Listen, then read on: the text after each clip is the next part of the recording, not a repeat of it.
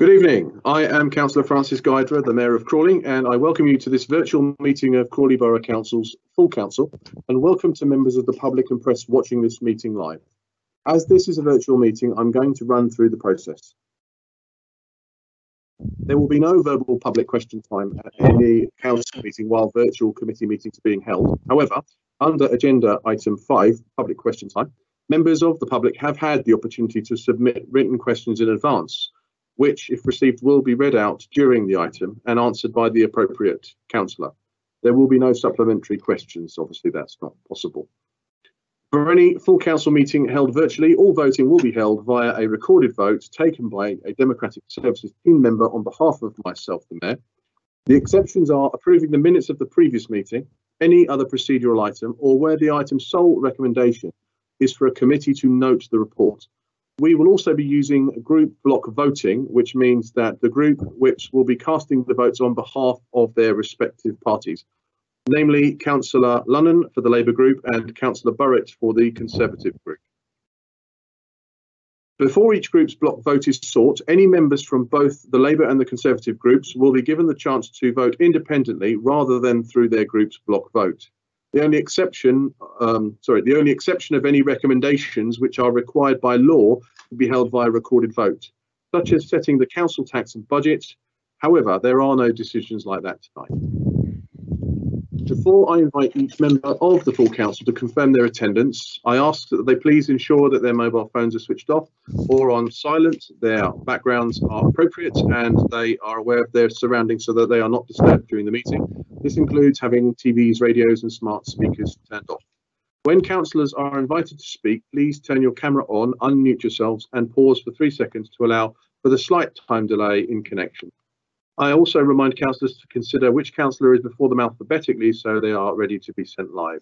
As with all virtual meetings, we will now take agenda items one, apologies for absence, two, disclosures of interest, and three, the minutes together.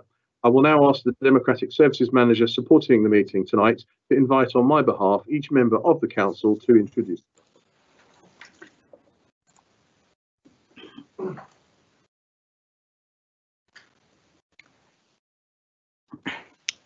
Good evening, I'm Chris Pedlow, Democratic Services Manager. Um, for clarity's sake, uh, we have Peter Nicholson, the Council's independent member, uh, the Chief Executive and a number of other officers in, um, in attendance for the meeting and they'll be minuted accordingly. That being said, I will now ask each uh, member to uh, confirm their name, the ward they um, represent, any declarations of interest which aren't covered in the paper, already published paperwork, and to confirm if they're happy to approve the minutes from the 21st of, October last full cabinet meeting. Firstly, Councillor Ashcroft.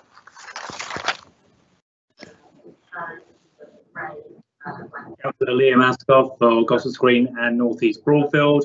Have no declarations of interest and I approve the minutes of the last. Councillor Aylings. Hello, um, it's Councillor Ayling. I'm um, the ward member for Bewbush and Broadfield North. I have no declaration of interest and I agree the minutes. Thank you. Excuse me. Councillor Andrew Belbin. Good evening. I'm Councillor Andrew Belbin representing Pound Hill South and Worth. I have no extra declarations of interest to make and I approve the minutes of a previous full council. Thank you. Councillor Tina Belbin. Good evening. I'm Councillor Tina Belbin. I represent Pound Hill North and Forge Wood, and I agree the minutes of Wednesday, the 21st of October, and I have no declarations to make. Councillor Bob Burgess. Uh, Bob Burgess, uh, Councillor Councillor Three Burgess, Bridges. can't see you. Can you not? you um, we can see a background. Is your camera the wrong way round? I'll bring the other councillor Bel Belbin in, uh, Burgess Okay. in, and then I'll come back. Councillor Brenda Burgess. Uh, good evening, I'm Councillor uh, Brenda Burgess, Three Bridges Town Centre. Um, I have no declarations of interest and I approve the minutes. Okay, Thank we'll you. go. Councillor Richard Burrett. We'll come back to Councillor Burgess. Councillor Burrett. Uh, Thank you. Yes, Richard Burrett, Pound Hill North and Fou- Forge Wood Ward. Um, I approve the minutes of the, um, You're on, Councillor yeah, sorry, it keeps telling me I'm muted when I'm not. There's something, it's really not working properly tonight for some reason. Um, can you hear me now? Absolutely fine. Okay, it's, it's still telling me I'm muted when I'm not. Um, Councillor Richard Burrett, Pound Hill North and Forge Wood Ward. Um, I have no further declarations of interest to make other than those in the list. Um, and I approve the minutes of the last. meeting. Councillor Crow. I'm Duncan Crow, I'm councillor for Furnace Green. I have no declarations of interest and I approve the minutes of the previous full council meeting. Councillor Eade. I'm councillor Eade. I'm councillor for Furnace Green Ward. I have no declarations of interest and I approve the meetings of the previous meeting. And I cannot turn my microphone off for some reason. Councillor Bob Burgess. We can see you now. You're muted, Councillor Burgess. Councillor Bob Burgess, we can see you, we can't hear you.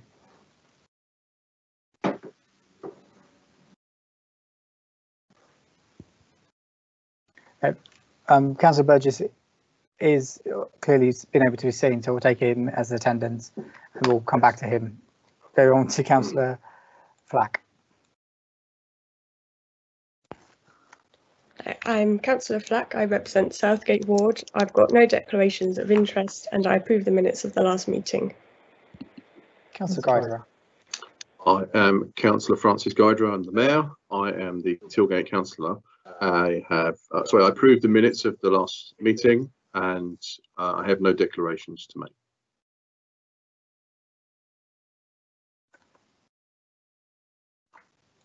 Councillor Hart. Uh, Councillor Julie Hart, Councillor for Ifield and Ifield West. I've got no declarations of interest and I approve the minutes of the 21st of October. Councillor Irvine. Yep, uh, Councillor Ian Irvine, um, representing Walfield Ward. Um, no declarations of interest to make, and I approve the minutes of the last meeting. Councillor Jaggard. Good evening. I'm Kim Jaggard, councillor for Maidenbower. Um, I have no declarations of interest and I approve the minutes of the last meeting. Councillor Jhans. Evening, Councillor Gurinder Jhans for Northgate and West Green. Have no declarations of interest and approve the minutes of the last meeting. Councillor Jones.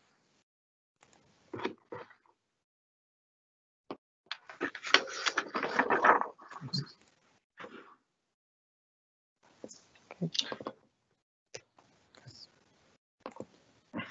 we'll come to Councillor um, Mwagale and we'll come back to Councillor Jones. Good evening, Maureen Mwagale, councillor for Tilgate. I've got no declarations of interest to make and I approve the minutes. Thank you. Councillor Jones.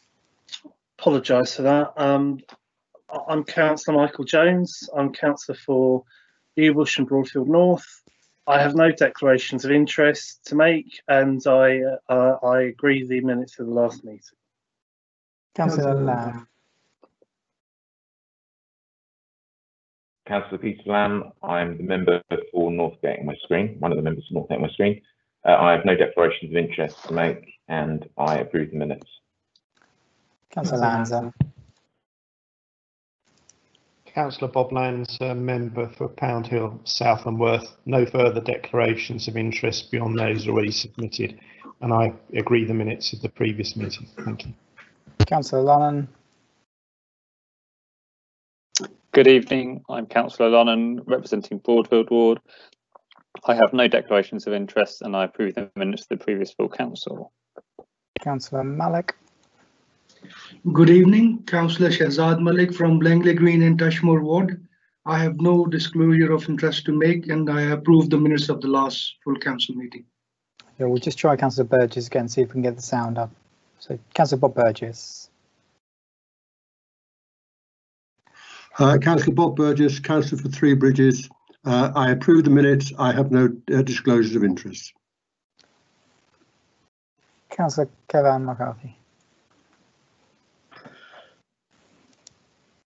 Hi, good evening. I'm Councillor Kevin McCarthy, representing Pound Hill North and Forge Wood.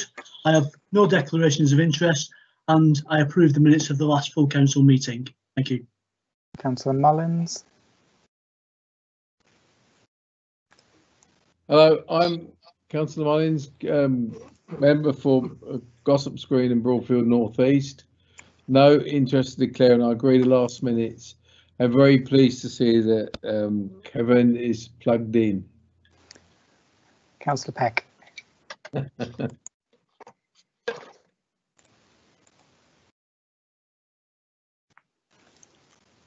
Uh, good evening. I am Councillor Duncan Peck and I represent the ward for Maidenbower. I have no declarations of interest and I approve the minutes of the last meeting. Councillor Penlington.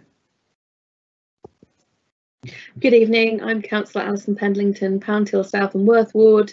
I have no disclosures of interest to make and I'm happy to approve the minutes of the meeting on the 22nd of October. Councillor Purdy.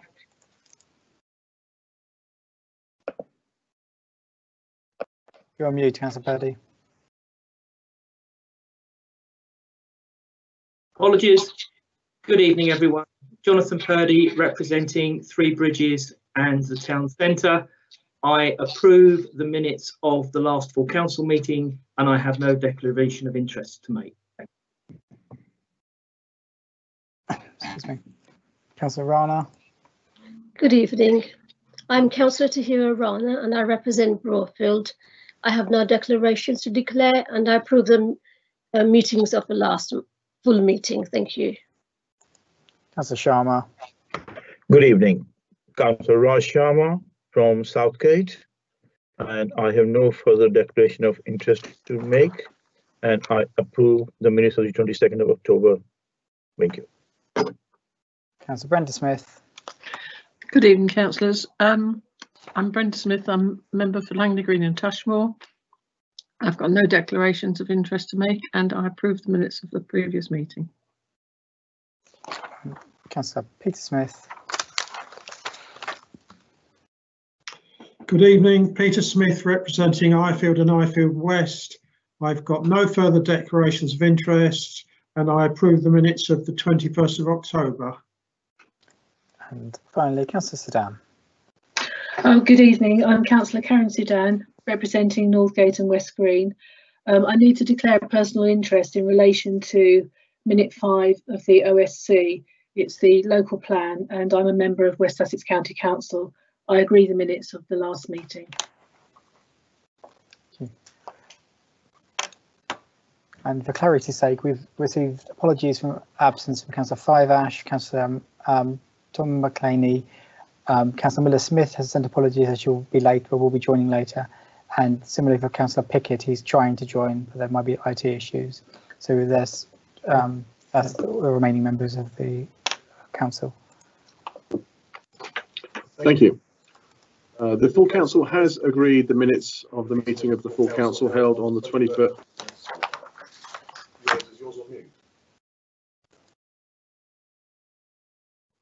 Sorry about that. We're both sat um, in the same office here. Um, the full council has agreed the minutes of the meeting of the full council held on the 21st of October 2020 are an accurate record. Now, item four, communications. Are there any items, items of communications? Councillor Peter Smith, do you wish to speak on your cabinet member announcement as detailed in the supplementary order paper on page seven? Uh, no, thank you, Mayor. Okay, no problem. Thank you. I unfortunately don't have any updates uh, since the last full council. Obviously, as we all know, there are many restrictions in place, so events that I can um, host are they're just not happening. Um, it makes things very difficult. Um, I hope to be able to give you some updates at the next meeting. Um, that's all I have to add.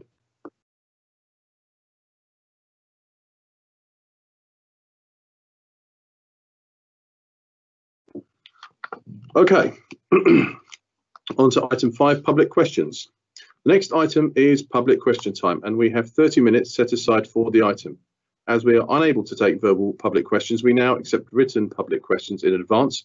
However, we have not received any public questions in advance. Therefore, we will move on to the next item.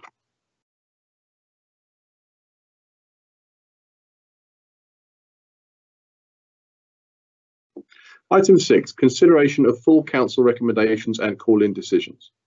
There are five recommendations before the council. Recommendation five, authority to approve a scheme budget and appoint a contractor for Breezehurst Phase Two housing development is an exempt Part B report. However, I am intending to deal with this recommendation in open session. So members, please consider this fact during the uh, discussion on this item. That being said, we will now deal with recommendation one. Recommendation one, polling arrangements for May 2021 arising from Governance Committee, 17th of November 2020, page 47 in the agenda pack. Councillor Burrett, as the Chair of Governance Committee, please introduce the recommendation.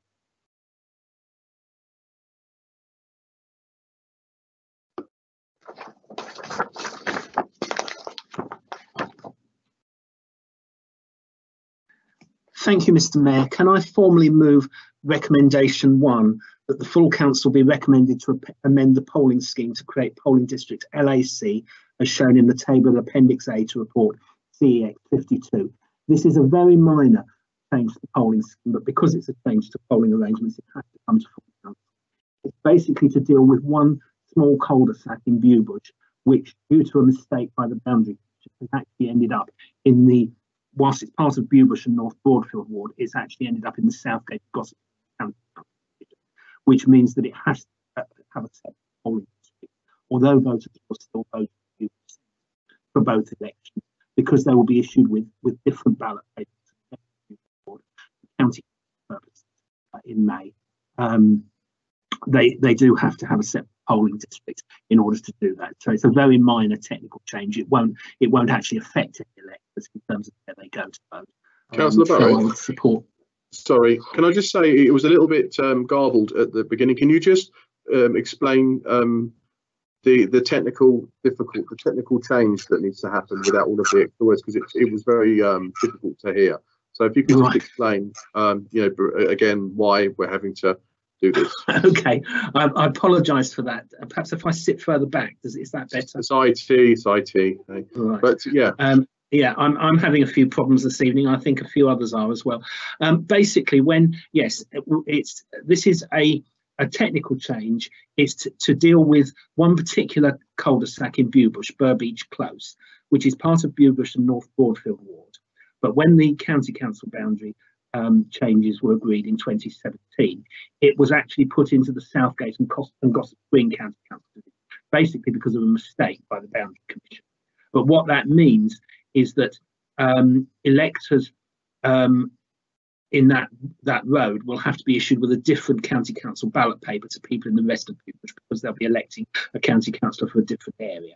So for that reason, there has to be a separate polling district, although voters will still vote at the um, at the same polling station, and it won't make any practical difference to them. But it's just a technical thing that it, they have to be listed separately as a separate polling district. So um, it went through the governance committee with very little um, very little discussion, and I'm hoping we can agree it tonight without a problem. Thank you. thank you. Uh, Councillor Lunnon, I believe you are.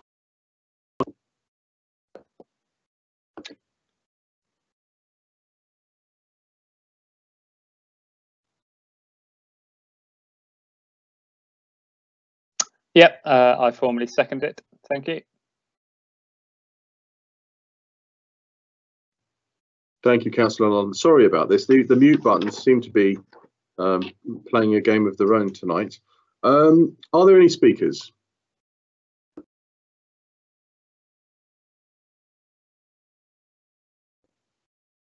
Okay, as there are no further speakers, Councillor Burrett, please formally move the adoption of recommendation one, and in doing so, you can use your right to reply.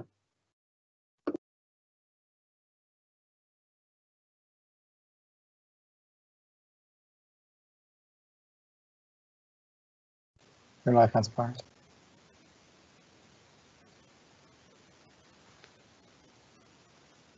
You're live, Councillor Burrett. Councillor Burrett, you're live. Uh, you're on mute. Um, Mine is saying I'm on mute, and I'm obviously not on mute. No, you are.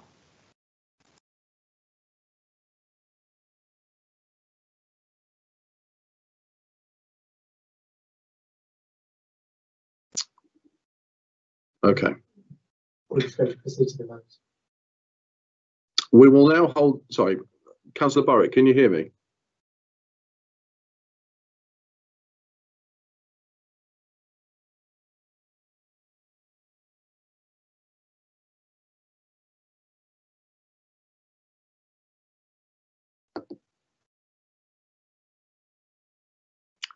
Okay, have we lost him now?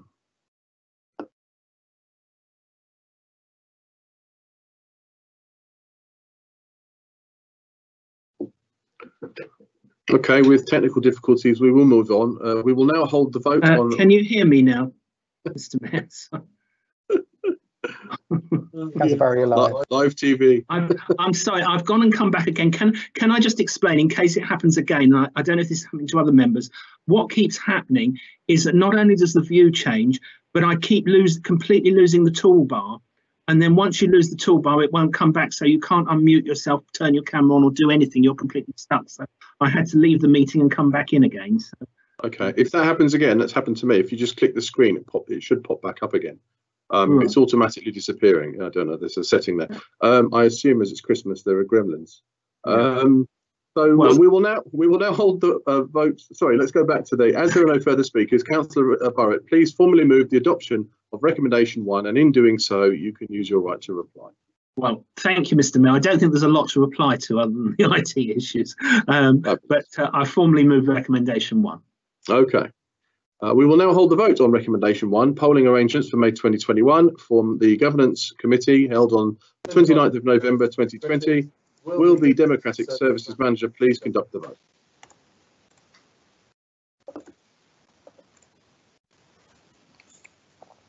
Thank you, Mr Mayor. Before I seek each group's uh, block vote, can I just check if there's any members that wish to, um, in the Labour Conservative group, wish to vote independently rather than under the block vote? Please indicate now. Okay, we'll proceed with the block vote.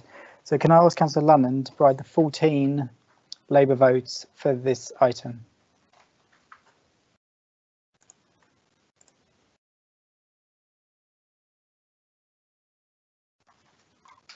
Labour's 14 block votes are in favour of recommendation one. Can I ask Councillor Burrett to the Conservative 16 votes? Uh, similarly, 16 block votes from Conservative group are in favour. And finally, can I ask Councillor Sudan to um, ask for her vote? Yes, for recommendation one. Sorry, Councillor Sudan, can I just put you back live again? So, Yeah, my, my toolbar keeps disappearing as well. Um, yeah, for recommendation one. thank you. Mr Mayor, that was unanimous, 31 votes, all in favour. Thank you. there for recommendation one is agreed. On to recommendation two. Submission Crawley Local Plan 2021 to 2037 arising from Cabinet 25th of November 2020, page 60 in the agenda pack. Councillor Lamb, please introduce the recommendation.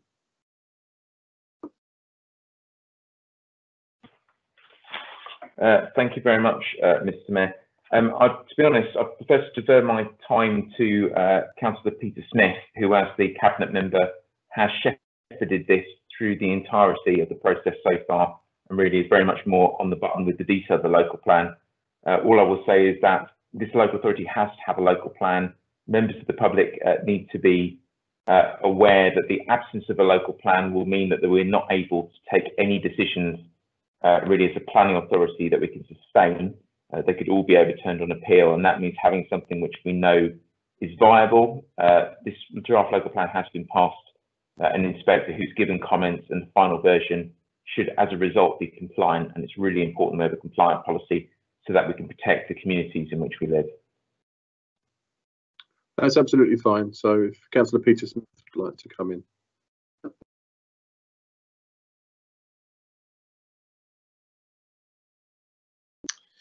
Thank you, Mayor.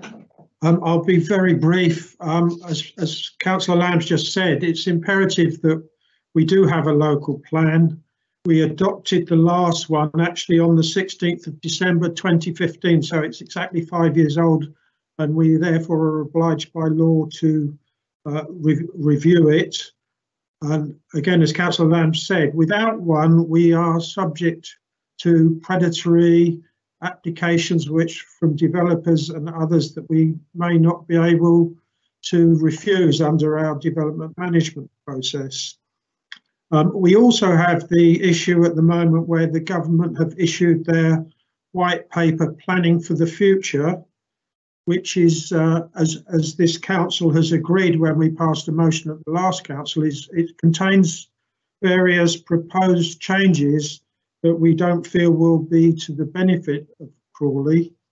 And if we have got an adopted local plan in place when the new changes come into place, we get to have another year before they come into into place. So that is another good reason why we need to get our local plan moving on schedule.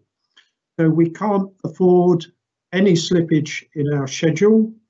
Last time in uh, 2015, we had a very much a consensual approach to the local plan from both sides of the chamber, or both virtual sides of the chamber, perhaps I should say now. Um, we've been very pleased to have good attendances at the local plan working group, given members the opportunity to be involved in the, in the development of the local plan. Been very pleased to have Councillor Purdy um, prepared to second the adoption of the submission local plan today. And I hope that all members will clearly understand the criticality of adopting this submission local plan today and I hope that every single member in the chamber will support that adoption. Finally, I'd just like to say thank you to Sally Lappage, Elizabeth Brigden and the team for the absolutely massive amount of work they do coordinating and assembling this local plan. It's a, a very significant piece of work. It's very complicated and complex and all inter linked with each other, which I should speak about a bit more on the motion. So thank you very much to the team for all their hard work and for producing such a high quality plan. I um, move the recommendations and request that all members on full council support the recommendation. It's actually number one on page 62, although I think it's actually recommendation two. Thank you very much, Mayor. Thank you, Councillor Smith. Uh, Councillor Purdy, I believe you are seconding this recommendation. Thank you, Mr Mayor, and I will speak on it now if I may. The fact that the seconding of this recommendation is coming from the Conservative group illustrates that as a group we fundamentally understand the need for the council to have a local plan in place. The local plan is not a plan for next week, next month, or next year. It is a 15 year plan reviewed at five yearly intervals for how we are going to manage the development, housing and commercial space and industry and employment and jobs in our borough. I'm therefore pleased to be able to give support to the local plan, having been involved um, as indicated by my opposite number, Councillor Peter Smith, um, for a number of years. I would also like to echo his support and thanks to the officer team, particularly Sally LePage and Elizabeth Brigden for their very hard work. No plan pleases everybody. A plan is a compromise. And I can understand and feel for some of my colleagues who are unhappy or uncomfortable with elements of the plan. And that is what we are here to do at council is to debate such things. But I would echo the observations made. It is important that this evening we put forward a submission local plan that is fit for purpose and capable of being adopted. Otherwise, we will find ourselves in a difficult position as a council going forward. And as the chair of planning, a chunk of those difficult decisions I am certain will land on my lap. I'm therefore pleased to second the local, local plan and I do so. Thank you, Mr Mayor.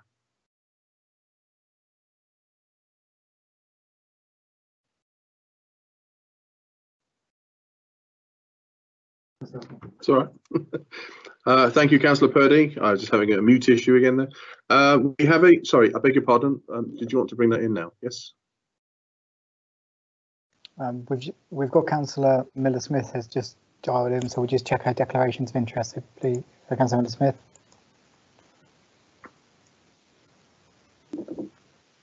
You're on mute, Councillor Smith. It's one of those nights, big laptop issues. Um, thank you. I have no declarations of interest. Thank you very much.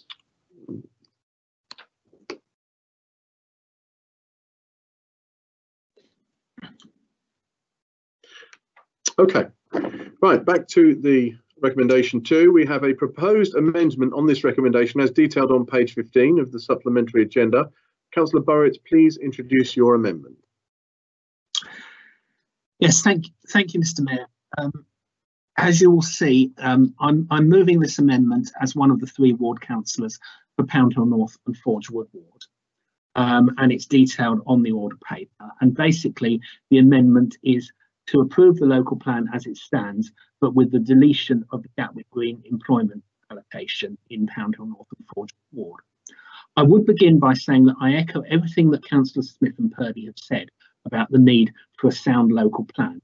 I have no desire to scupper our local plan, and I certainly don't want to do anything that leaves the council in a position where it gets directions from outside and is forced to do things which we don't want to do as a council in terms of planning for the future for the, the our town and its residents. But I cannot accept the arguments in favour of this particular allocation for uh, employment land. Um, as members will be aware, a first stage consultation on the local plan took, took place earlier this year without this site. Um, as a result of issues which arose subsequently, it was added in what could, could be described at the as the last minute without a great deal of consultation. It was notified to us as 14 in November, only shortly before um, the draft was published. And yet now we're being told that we cannot possibly take it out of the local plan without the local plan possibly falling and being found unsound, um, which I don't think is an acceptable position for us to be put in. I think we're being bounced into it, and I, I rather resent um, that that on behalf of the residents who live in that area. If I can give some background, the residents of Fern Hill have been concerned about the proposed Gatwick uh, Green development, which has been promoted by a site promoter for a decade or more. But they've always been reassured that as the land was safeguarded for the possibility of a second runway, it's unlikely it would ever happen. This land is part of the old strategic gap between Crawley and Horley, which no longer exists um, as a formal allocation. That has been eroded considerably due to the building of Forge Wood, and of course with the new Steers Lane development, which has now been granted planning permission on appeal. Um, the urban boundary will now extend as far north as Radford Road. Similarly, we have the Horley Strategic um, Business Park, uh, which has now been allocated.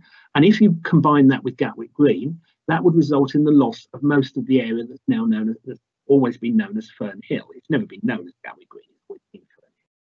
That would then mean that only the section from Radford Road to the Antlands Lane roundabout would remain as, op as open space, effectively a gap between the two towns of Crawley and Horley, effectively the length of one large field. It's the total erosion of the gap, coalescence of settlements at a time when we're told how much, in, how important diversity is, how how how how important biodiversity is, and yet we're, we're going to be taking away such a large piece of open countryside. It would be the loss of the last piece of large open countryside in the borough, um, fields, woodland, um, and other associated areas. Um, I know we'll be told that Gatwick Airport have long had an ambition to use it for airport parking, but I have to say I think that uh, and that this would be better.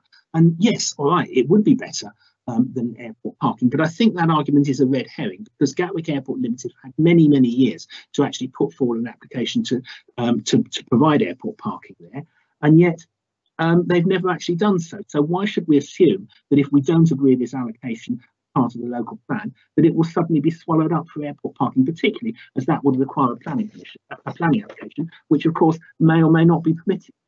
It could even easily be left as green open space, as has been the case for, for many decades. There's no reason why that should happen if we don't agree allocation. Right. I fully understand the economic needs and then the need to regenerate um, jobs, services in the borough. And I've again, I've got no desire to make things worse for our residents in terms of the economy.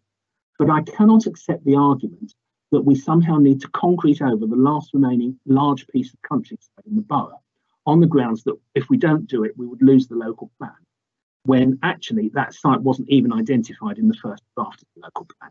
Again, we'll be told there'll be a six-week public consultation, and that's great. But how meaningful will that consultation be? If the vast majority of residents who respond come back and say, no, we don't want that allocation, we want it left as a field, will we listen and say, actually, no, we'll take it out of the plan and, and that will be the end of it? Or will we say, sorry, it's got to stay in there because otherwise the local plan will be found unsound? I'm afraid I've got a nasty feeling I know the answer to that one.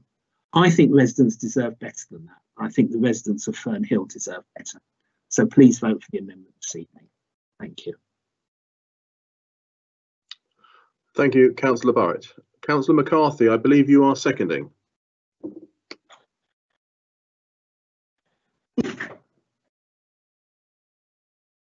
Yes, thank you, Mr Mayor. Um, I formally second the, uh, the amendment from Richard um, and I can speak now or I can speak later. Which would you prefer?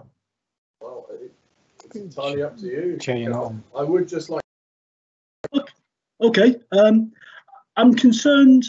I mean, it, it, it's it's a large piece of green space, and there's not much green space within the town. It's within our ward, and I I can't help feeling that there were there, there are better sort of brownfield sites which are available.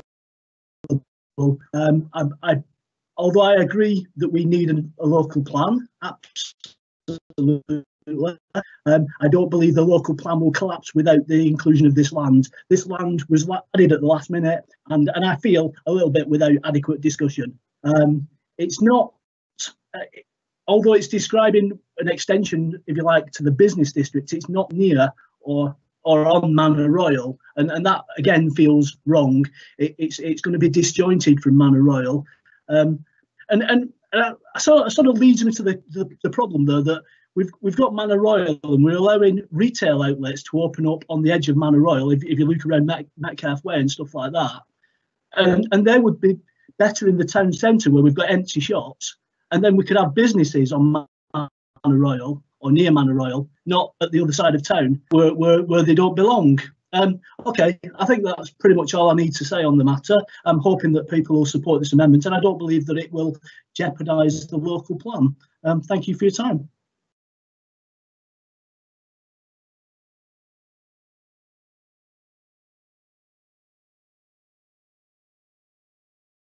Thank you, Councillor McCarthy. I'm intending to hold one discussion on this item, so I will open up the floor. So are there any speakers on the recommendation or the pro, uh, proposed amendment? Councillor Crow. Thank you, Mr Mayor. Yes, I'll, I'll speak to the uh, local plan and to the uh, amendment. Uh, firstly, I would like to echo the words from Councillor Smith and Purdy in thanking the officers for their work. A local plan is a very detailed and complex document and it's, very, it's certainly not very easy to put together. So can I thank both the Cabinet Member and the Shadow Cabinet Member plus the local plan working group for the work that they've done alongside the officers to get us to this point uh, now. We've already heard how important uh, local plans are in terms of how they um, they can protect areas of land from predatory uh, development because we've got those protections in place by having our local plan. Uh, but of course, if we don't have a local plan in place, uh, other authorities have found out to their cost that um, they are not protected from such predatory development. So um, while I understand where my colleagues from Poundhill North and Forge Wood are coming from in terms of wanting to protect uh, their ward from development, and that I perfectly understand that, the reality is that we would end up with a significant delay to our local plan that actually risks having additional development above and beyond what is uh, listed in the local plan in other wards across the town. So I would say to members, if you are concerned about green spaces in your ward across the town, actually you need to support the local plan as it is. Now, if the amendment is carried um, tonight, uh, immediately that will mean that there is a two-month uh, delay because everything would have to be changed within the local plan, such as the, the, the map, the sustainability appraisal, um, the regulatory assessment and supporting papers, and that alone would lead to a delay of two months, I am told by officers. And we would then have to start to re-engage with our neighbouring authorities to agree a new statement of common ground, because we would now be saying that actually we had identified some, we had previously identified um, employment lands for our needs, but hey ho, now now we don't. So please, can you um, help us out? And I strongly suspect I know what the response from our from our neighbours uh, would be, but but going through that process would then create a further delay.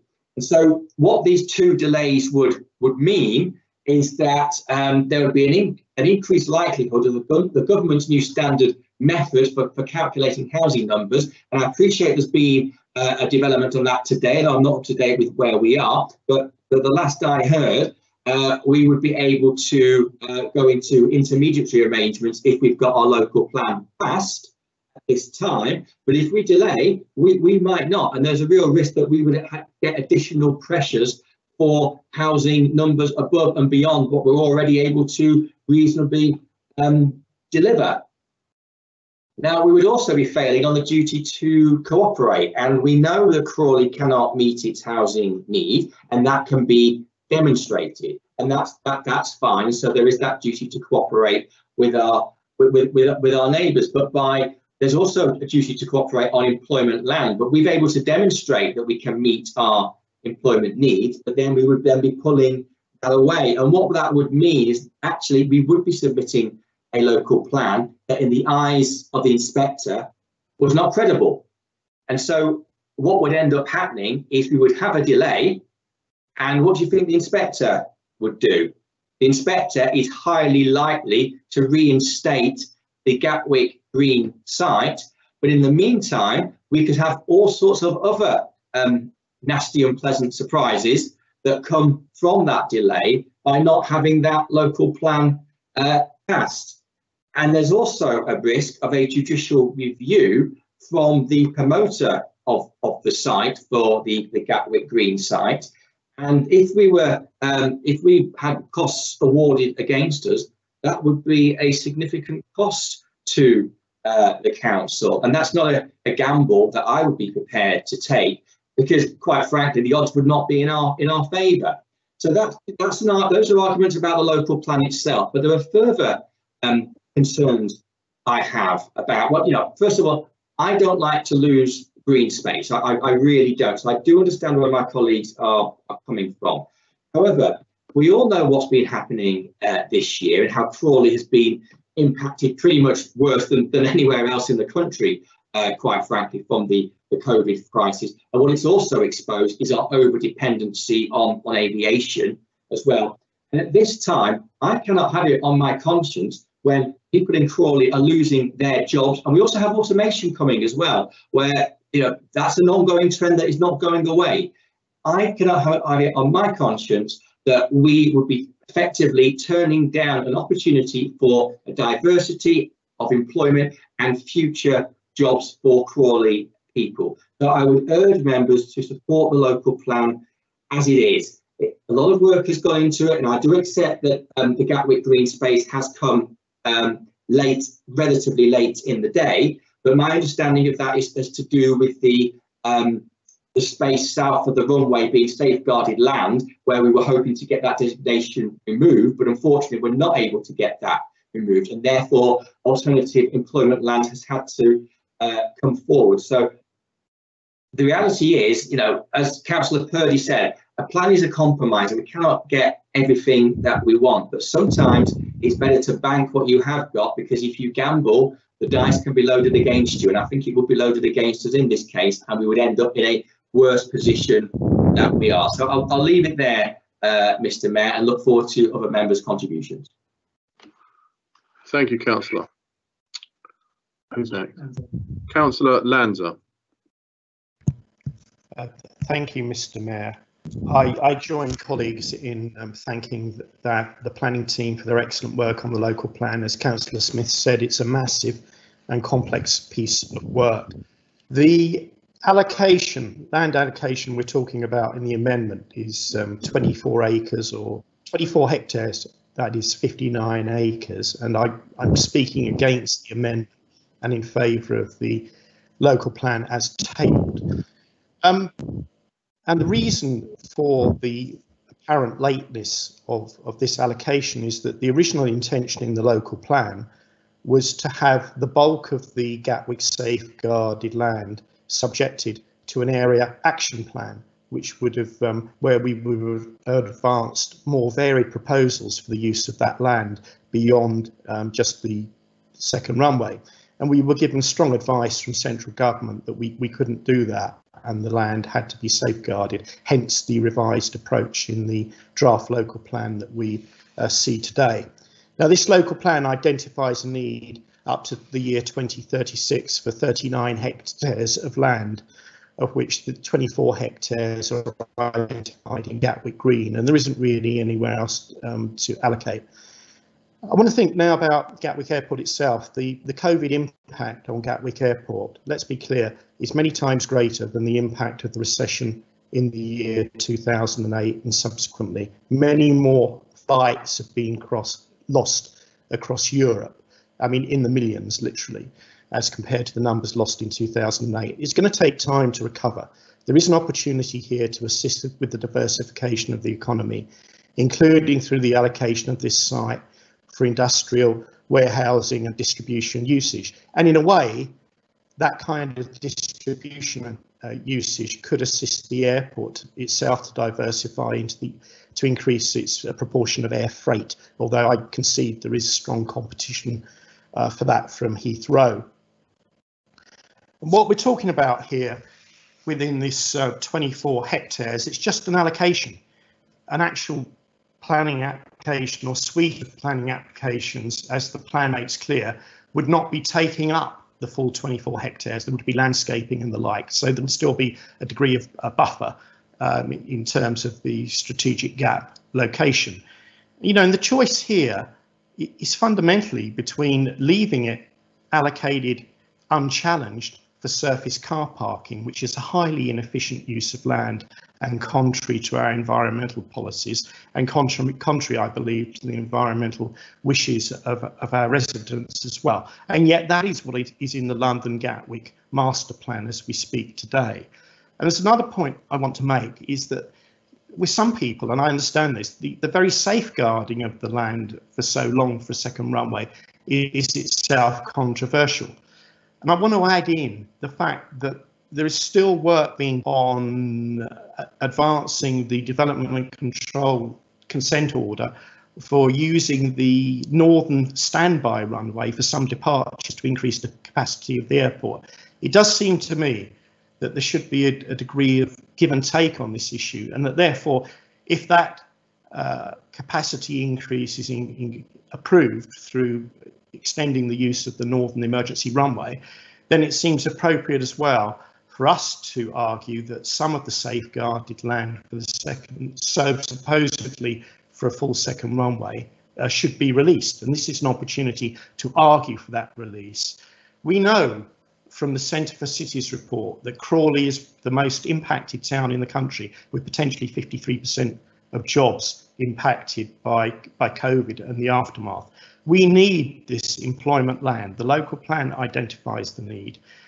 And if we don't provide it ourselves, when we are demonstrably able to do so, we also run a risk of failing in the duty to cooperate with our neighbouring local authorities who are already assisting us with our housing needs. So there could be a knock-on effect with our housing need as, as well. Um, just for people watching, just to emphasise, we're, we're not debating planning applications this evening. We are debating the allocation of land. So if there were to be planning applications come in for Gatwick Green for industrial warehousing employment usage, those applications would be entertained by the council because of that allocation. And as other speakers have said, the best protection long term that you can afford green spaces and the environment is to have a local plan in place. Otherwise, you can have planning applications come in on an ad hoc basis, and our ability to resist those that damage our environment is severely compromised in the absence of a local plan. So overall, you got the choice between land not being used, land being used as a car park, or land potentially being used to improve economic diversity and to provide jobs for Crawley people. I know which one I'm going to choose, and I have to advise and urge colleagues to vote against the amendment and vote for the local plan. Thank you.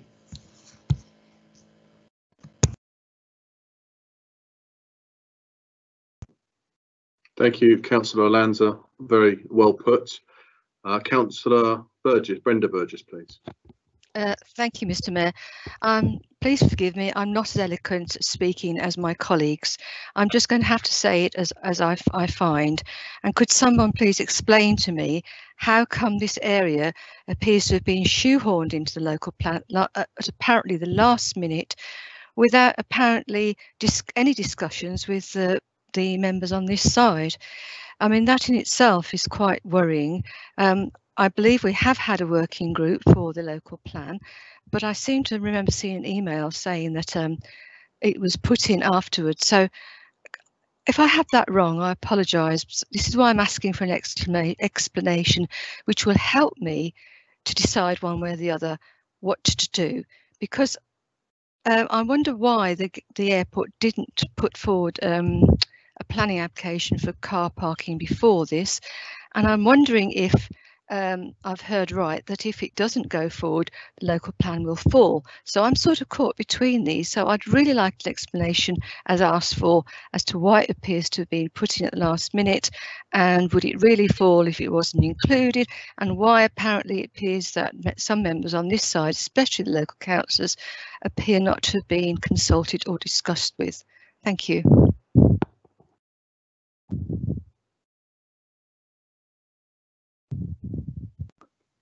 Thank you, Councillor Brenda Burgess. Uh, Peter Smith can uh, hopefully answer that in his right to reply, and there are no further people requesting to speak. So, sorry, uh, sorry, I beg your pardon, Kim Jag, uh, Councillor Kim Jaggard would like to speak now as well.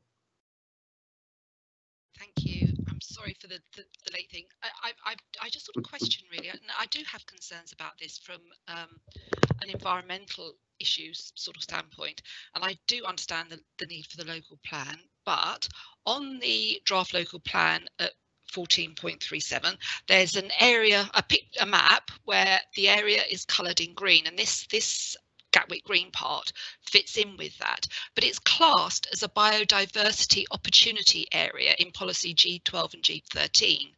Now, while these policies may not stop development, it does strike me as really bizarre to list one of the largest green open areas that we have as a bio biodiversity environmental opportunity area, but then also list the very same area as for industrial development opportunity with HGVs, warehouse warehouses with HGV vehicles going in and out all the time, um, most likely users. And it does seem to be rather contradictory. And I don't quite see how these two two areas, can, this one area can be both biodiversity area listed on the local plan, yet also an in opportunity, industrial opportunity area listed on the local um, the plan.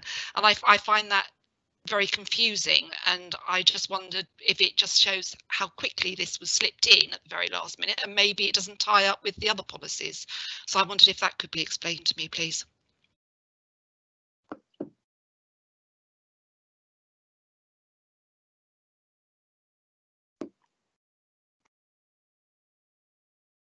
Thanks, Sillyboy. Thank you, Councillor Jaggard. Are there any further speakers? No? I would just like to say something myself. Um, it obviously, it's an emotive subject when there is land that um, has not been developed ever. Um, it is an unfortunate thing that this piece of land is where it is. Um, if it were just grass, um, there'd be less kickback, but of course there's uh, when it's an undeveloped piece of land, it's it's been there forever, and uh, people do get emotive, uh, emotional about the idea of, of, of, of converting land into, um, you know, buildings and uh, car parks and so on and so forth. But that's the story of Crawley. And, and actually, the Maidenbower was all fields at one point, and uh, I had a neighbour where I lived in Northgate, grew up, who, who, who used to happily tell us that everything in front of the house used to be fields. Manor Royal, uh, there are lots of uh, photographs posted regularly or memories of Crawley on the Facebook page of Crawley as it developed, and and this is a part of that development. I think where where it where it bothers some of the ward councillors for the area is just the fact that it feels like it's kind of come along at the end. But I'm sure Councillor Peter Smith will give us a, an answer. I'm sure they wouldn't have done this if they didn't have to. Uh, I guess is going to be the reply. Um, we have to defend this document, and there are people out there with plenty of money and plenty of legal uh, representation who who who challenge the I assume challenge local plans quite regularly. So it's got to stand up. Um, but I'll bring uh, Councillor Peter Smith back in for his right to reply now.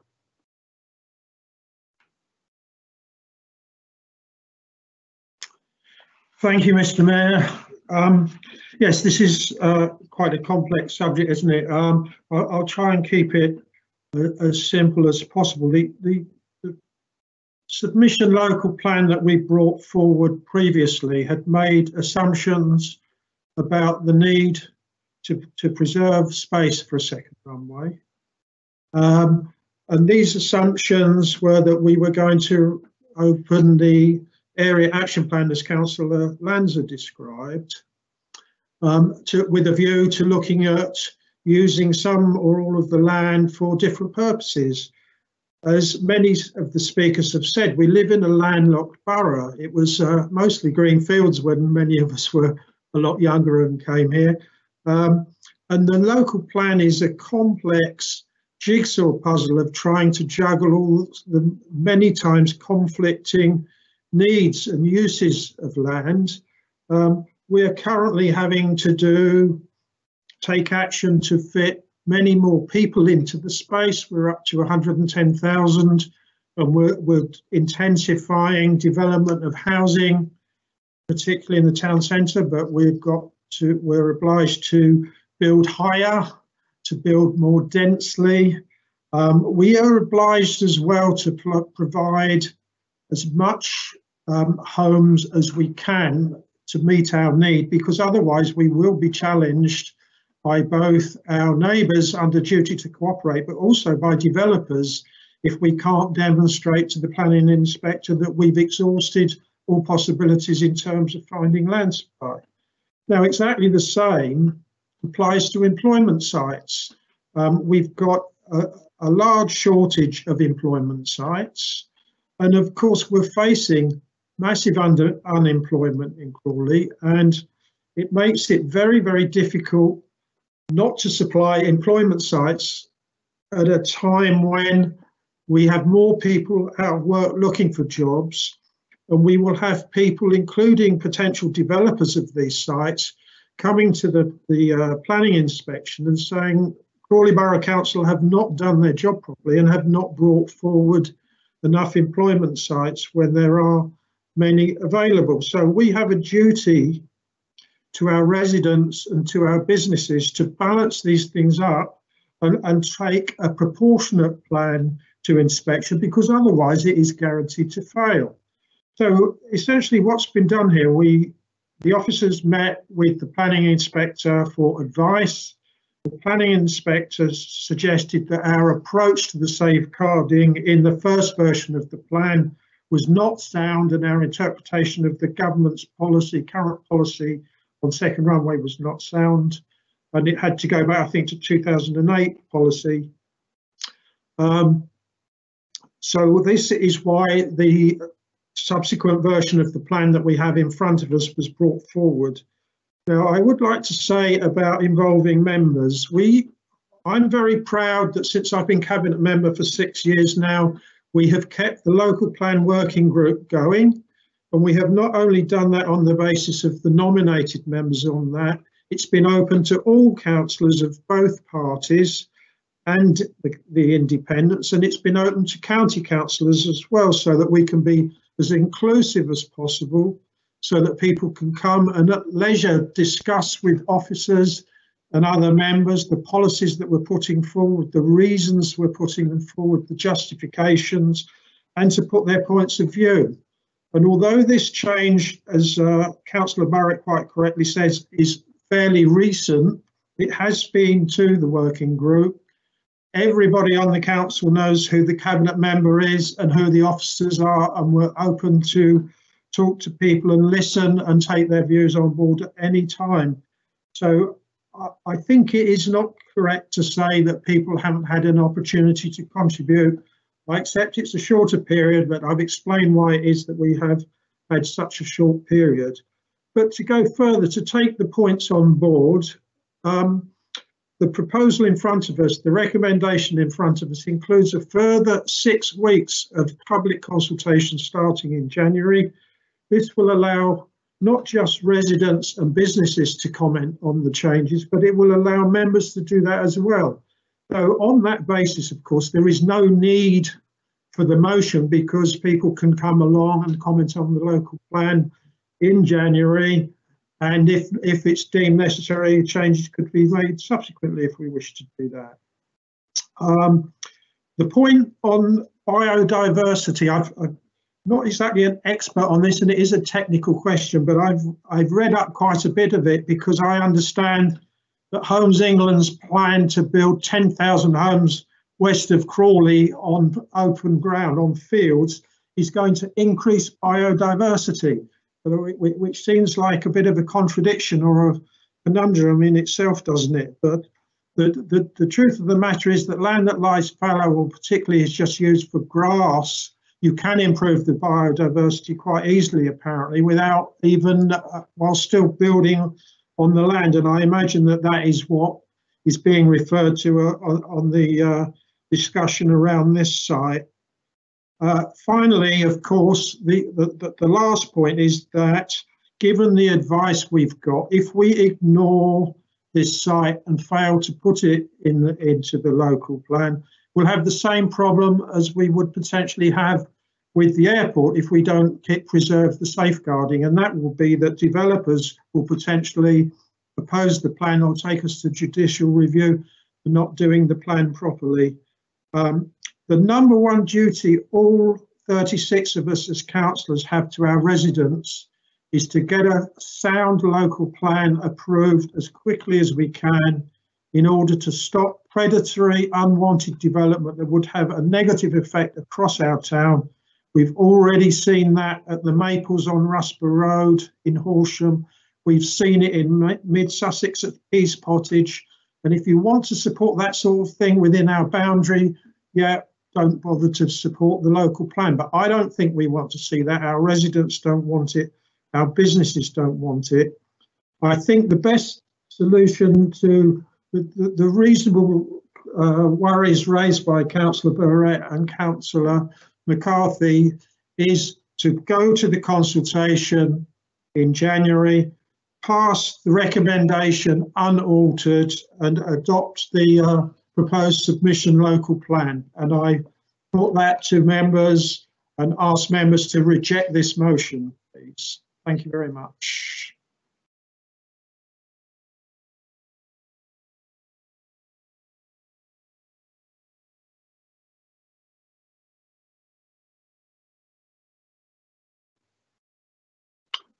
Thank you, Councillor Peter Smith. We will now hold the vote on the proposed amendment to recommendation two submission. Yeah. That's what I thought was happening. Excellent. We will now hold the vote on the proposed amendments to recommendation two submission Crawley Local Plan uh, 2021 to 2037 as detailed on page 15 of the order paper. Will the Democratic Services Manager please conduct the vote?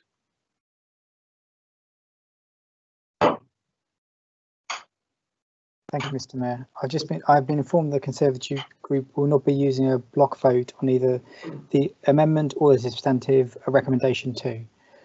Um, so therefore, we'll start the vote with the Labour block vote um, before that, can I have uh, can any mem if any members do from the Labour Party do not want to um, use the block vote, please indicate now. Councillor Lunnon, can you please um, provide the Labour vote, block vote? Uh, the Labour block vote is against the amendment. Thank you. We'll now um, do a recorded vote for the remaining members. Councillor Ashcroft, For the amendment. For the amendment.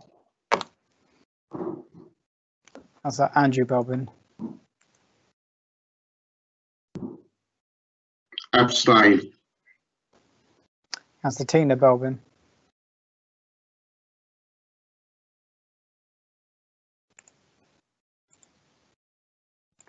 For the amendment.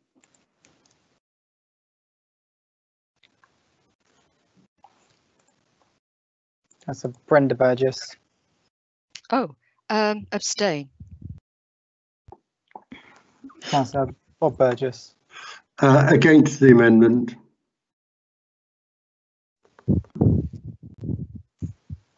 Councillor Burrett, For the amendment. Councillor Crow, Against the amendment. Councillor Eade, For oh, the amendment. Councillor Guidera, Against the amendment.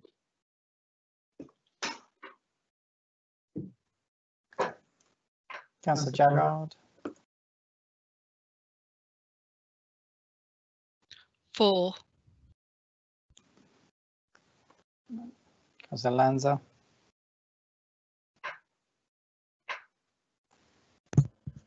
Against the amendment. Councillor McCarthy, For the amendment. Thank you. For the amendment. Thank you. Councillor Miller Smith, Against the amendments. Councillor Mwagale, Against the amendment.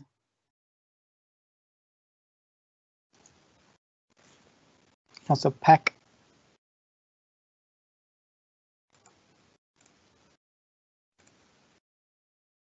Against the amendment.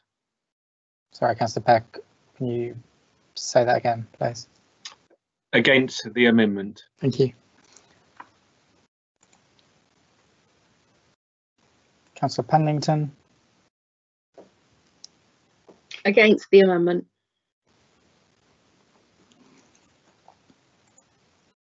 Councillor Purdy, Against the amendment.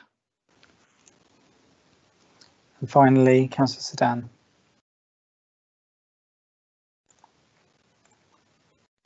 Abstain. Okay.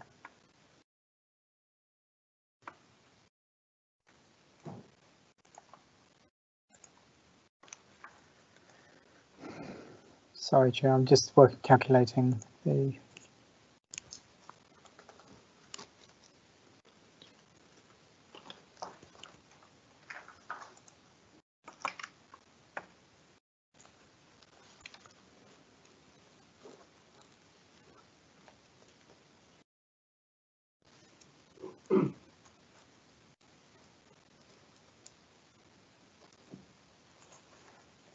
My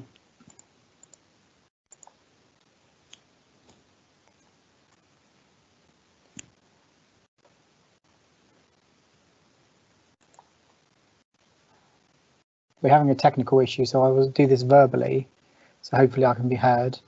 Um, the decision was, oh, I didn't clarify, there was 14 Labour block votes. Um, so the, so the carry, it was 23 for, three abstentions and six against. Oh, sorry, rephrase. S- Six people for the amendment, three abstained and 23 against. So the so the um, amendment falls. Um, I'm just we're just going to hold a second while we try to deal with a technical issue on the cameras. Please bear with us.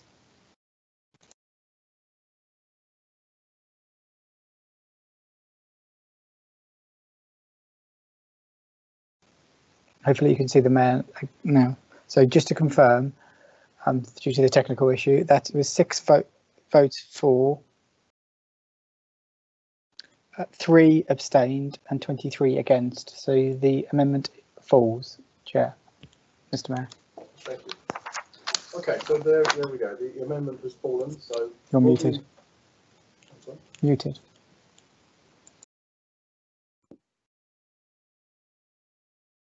Thank you. Okay, so there we are. The amendment has fallen. Um, so will the Democratic Services Manager please conduct the vote on the substantive recommendation to the submission Crawley Local Plan 2021? Sure. So as before, the Conservative group is uh, are not having a block vote, um, and this vote is on the um, um, on the local plan recommendation two as shown within the original report, not amended. So Councillor Lunnon, will you please provide the 14 Labour group votes, block votes? Thank you. Uh, the Labour 14 block votes are in favour of recommendation two and passing the local plan. Thank you. Councillor Ashcroft, individual vote. Abstain. Councillor Andrew Robin, For the local plan.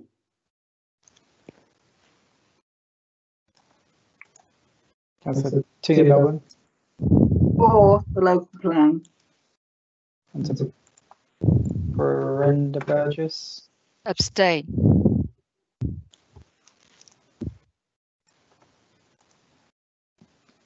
Councillor Bob Burgess, For the plan. Councillor Burrett, Abstain.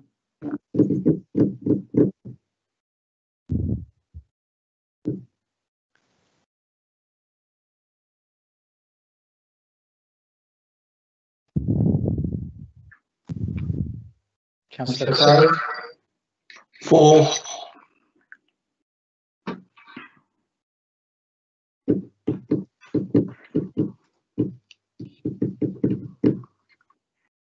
Councillor Eade, I think.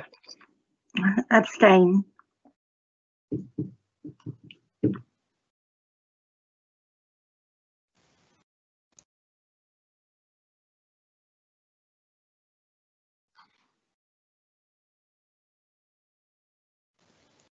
Councillor Guidera, Thank you. I am for the local plan. Councillor Jaggard,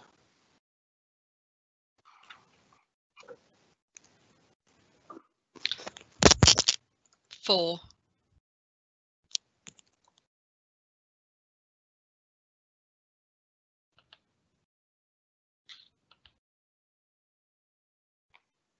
Councillor Lanzer, For the local plan. Councillor McCarthy,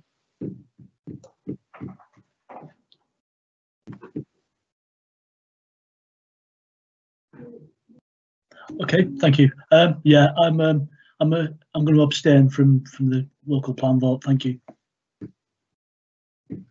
Councillor Miller Smith,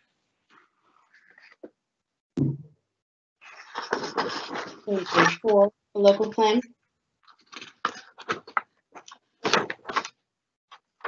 Councillor For the local plan. Councillor Peck,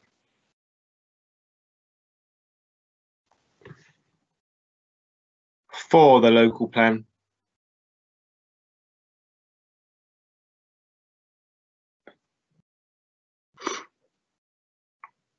Councillor Pennington, Four.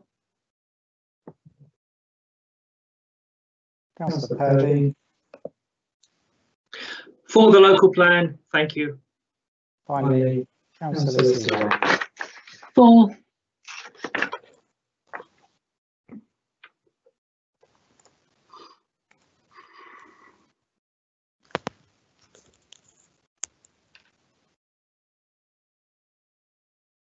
Just toss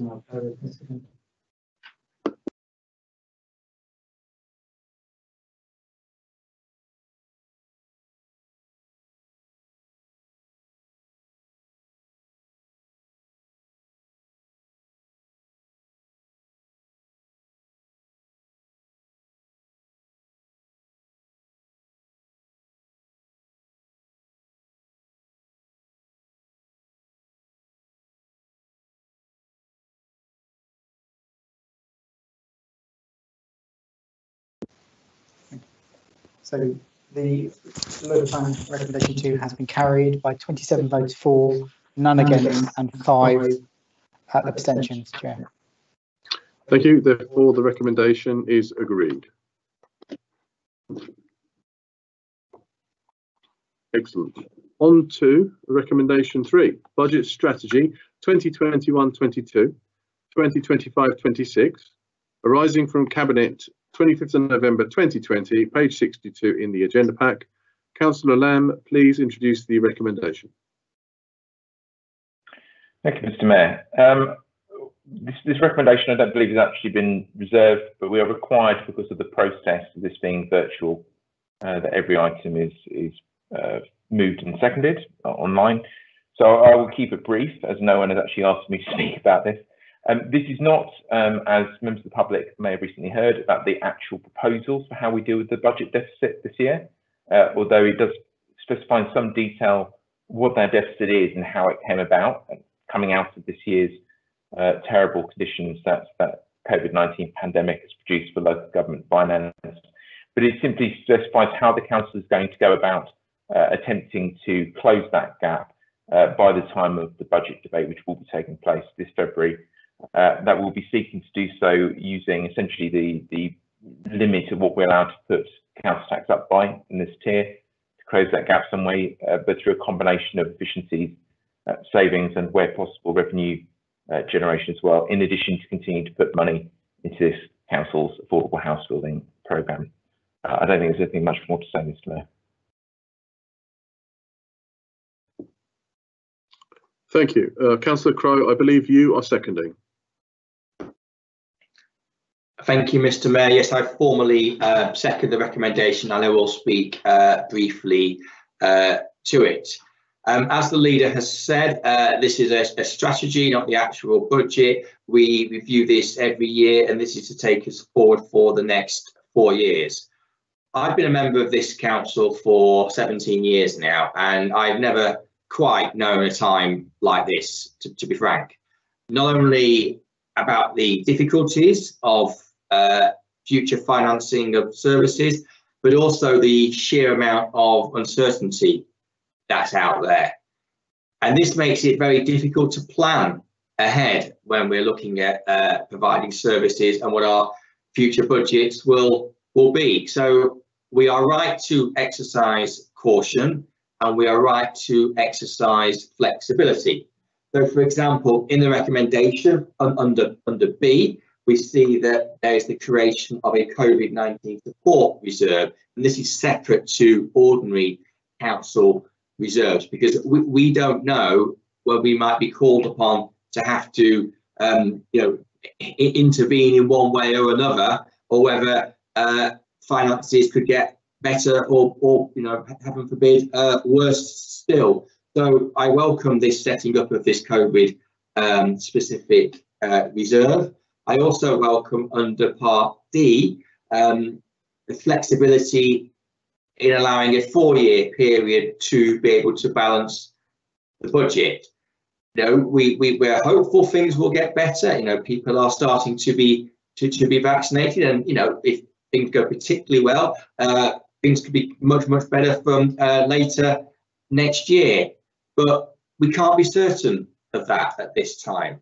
And therefore, we it is right to have that flexibility to be able to not necessarily balance a budget in any given year, as long as we are doing so over a four-year period.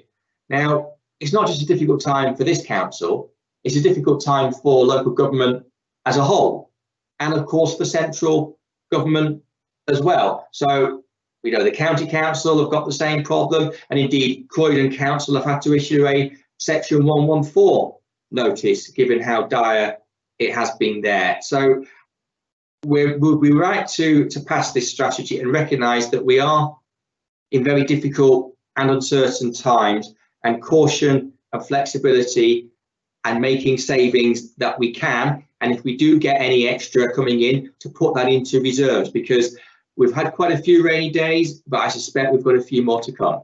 Thank you. Thank you, Councillor Crow. Um, now we come to any speakers and Councillor Irvine is, is first in line. sorry, Mr. Mayor, that's a technical issue. I don't want to speak on this item. Ah, I beg your pardon. Yeah. Yeah, technical issues are the order of the day, apparently. Um, okay, so are there any further speakers? None? None at all. Okay, as there are no further speakers, Councillor Lamb, please formally move the adoption of recommendation three, and in doing so, you can use your right to reply. Uh, well, I formally move the adoption, and I'd like to thank Councillor Crow uh, and uh, his group for their support in moving ahead on this this year. It's certainly a challenging year for all of us, and I think the cross-party approach is certainly something that residents have come to expect of us uh, in these uncertain times. Thank you, Councillor Lamb. Completely agree.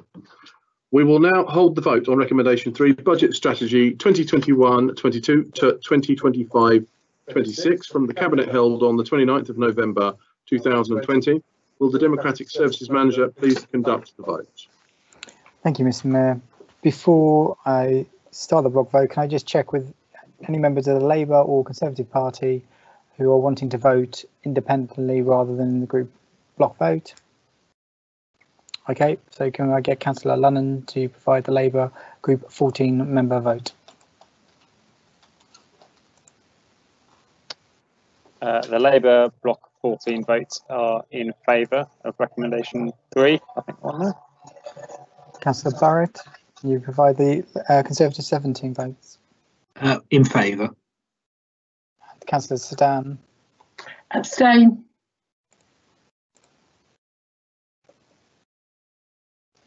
So Mr Mayor, the recommendation was carried 31 votes for, one abstention, no um, um, no objections. Okay. Motion's carried. Or the Thank you. recommendation's carried. Thank you. Recommendation three is therefore agreed. And on to recommendation four. Appropriation of garages from the HRA to the general fund arising from Cabinet 25th of November 2020, page 67 in the agenda pack. Councillor Lamb, please introduce the recommendation. Thank you, Mr Mayor. Uh, well, having just moved on from the budget strategy, uh, members will be aware that with the challenging gap we have to deal with this year, we've got to close uh, over £2 million worth of uh, gap between what we now have coming in and our previous levels of expenditure.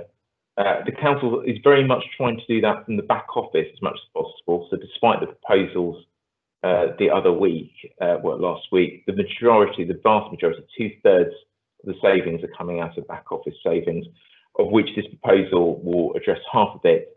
Uh, it's it, for many, it's a simple accounting thing, but it, it represents uh, part of the problems we face in local government with restrictions around how we can use one pot of money or another.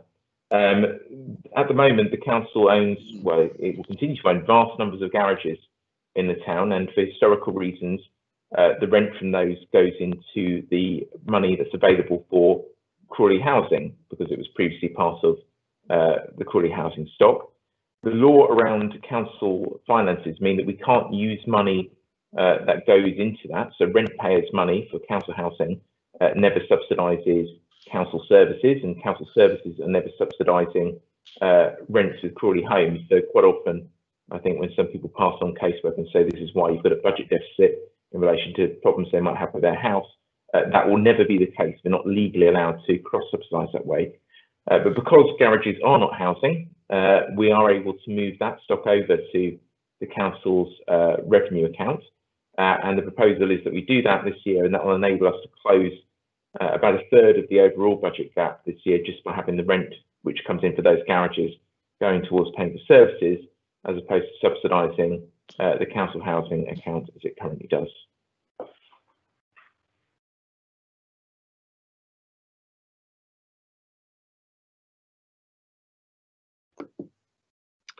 Thank you, Councillor Lamb. Councillor Crow, I believe you are seconding. Uh, point Yes, of order. uh, Can I raise point of order, Mr. Mayor? Yes. Uh, yes, sir. Sorry, Councillor Irvine. Yeah, thank you, thank you, Mr. Mayor. I just want to refer to uh, full council procedure rule G6, which states in the case of a recommendation coming from the cabinet, the leader will move the recommendation. The cabinet member with portfolio responsibility for the item will second the recommendation and present the item. I am the cabinet member with responsibility, so therefore I think it's my job to second. I'm happy, Mr Mayor, if, if Councillor Irvine wishes to uh, second the recommendation. That's fabulous. That, I really do appreciate that, Councillor Crow. And, and Councillor Irvine, I understand what you're saying. Obviously, things are, are moving very, we're operating a bit differently, but we do need to follow the rules. And if you wish to follow that rule, I'm quite happy to allow that. So if you'd like to do that, please go ahead.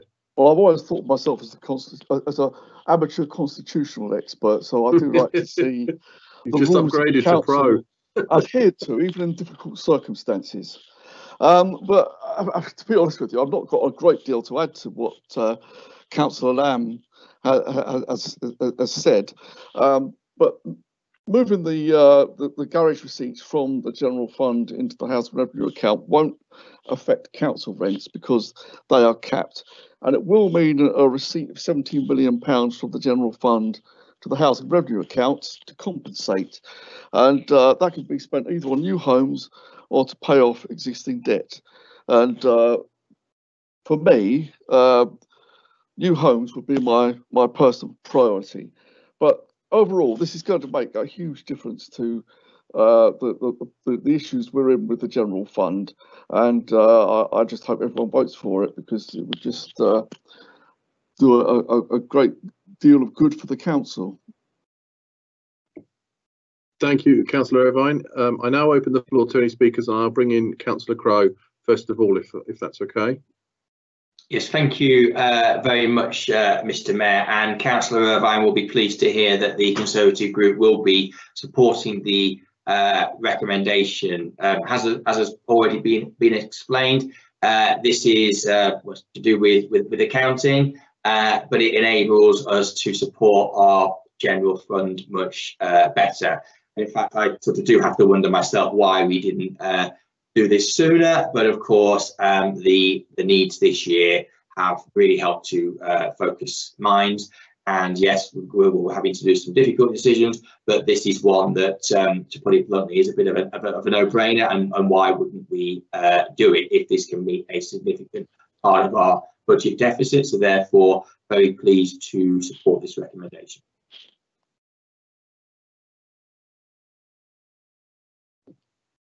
Thank you, Councillor Crow. Councillor Miller Smith.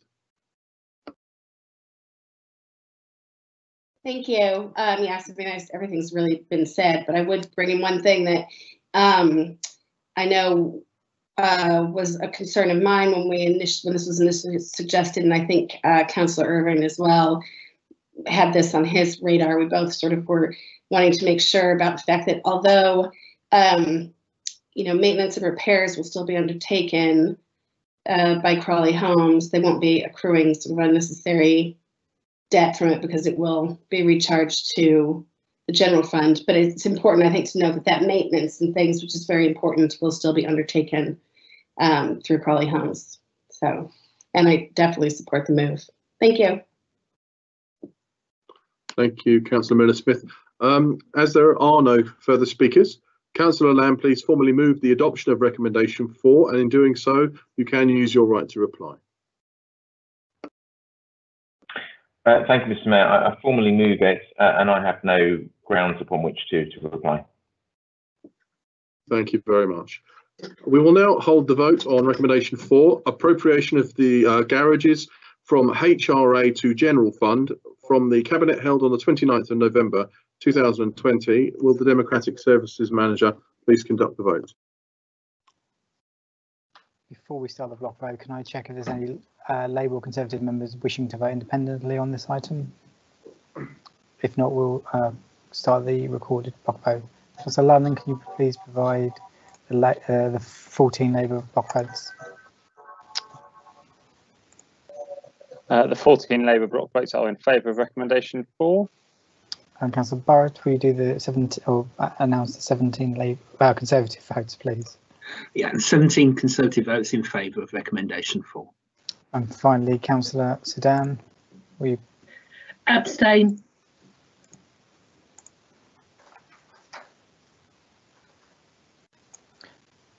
Mr Mayor, that is uh, 31 votes in favour, no, none against, and one abstention. The motion, uh, the recommendation is carried. Thank you. Therefore, recommendation four is agreed. Recommendation five. authority to approve a scheme budget and appoint a contractor for Breezehurst Phase 2 housing development arising from Cabinet 25th of November 2020. Page 69 of the agenda pack. This is based on a Part B report. However, I mentioned earlier I'm intending to, uh, sorry, I am intending to have the discussion in open session unless any member objects. If there is an objection, please indicate now by turning on your camera and also please um, remember that this is a sensitive item, so don't mention things that might be part B. Thank you.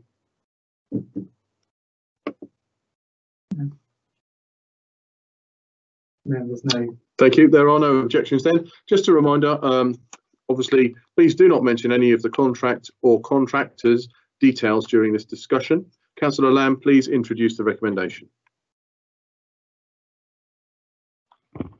Uh, thank you, Mr. Mayor. I, I formally move it, and I will uh, allow my, my cabinet member to uh, go through the, the reasons for that.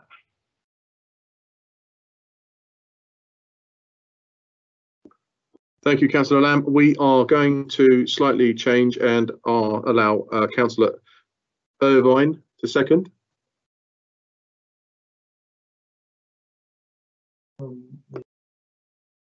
You're on mute, Councillor Irvine.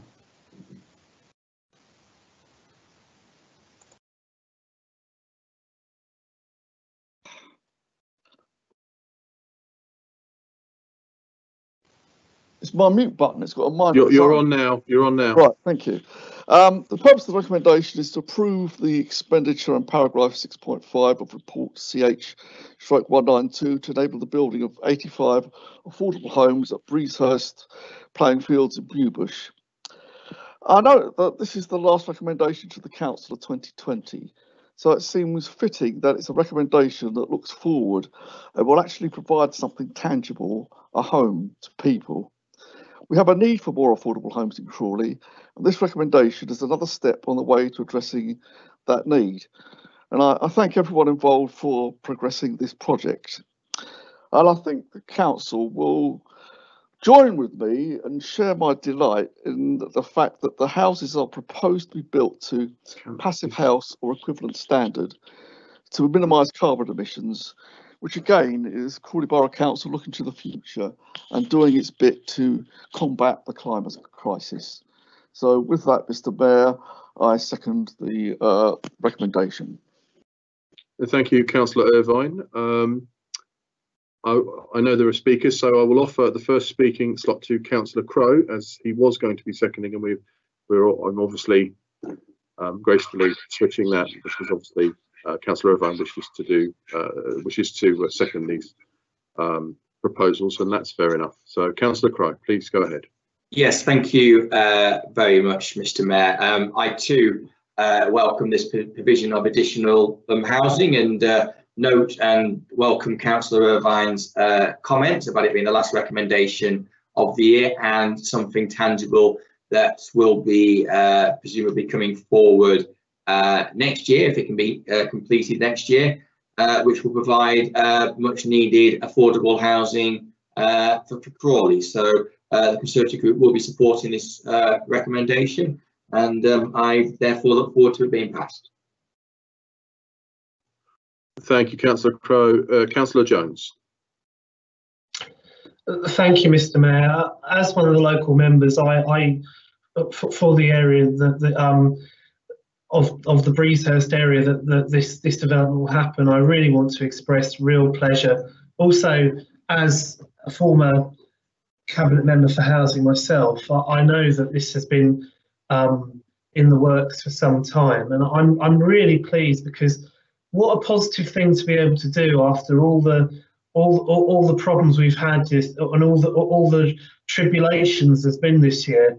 It really it really is um, it's wonderful. I think the fact that we will actually be in a position where we can actually help reduce the um, the housing waiting list in this borough is also very welcome. Um, it's it's good news all round. So um, to, hear um, Councillor Irvine speak about it, and the fact that it will also have um, uh, such good environmental credentials as well, really is a pleasure for me as a local member. Thank you. Thank you, Councillor Jones. Councillor Johns. Thank you, Mr. Mayor. Um, not only do we have a housing crisis, but we also have a, a climate crisis too. So it's incredibly positive that these houses are being built to passive house standards. So I'd really like to to welcome that. Um, and as has been said already, it's really nice to end um, tonight on a recommendation on such a positive note, especially after the year that we've had.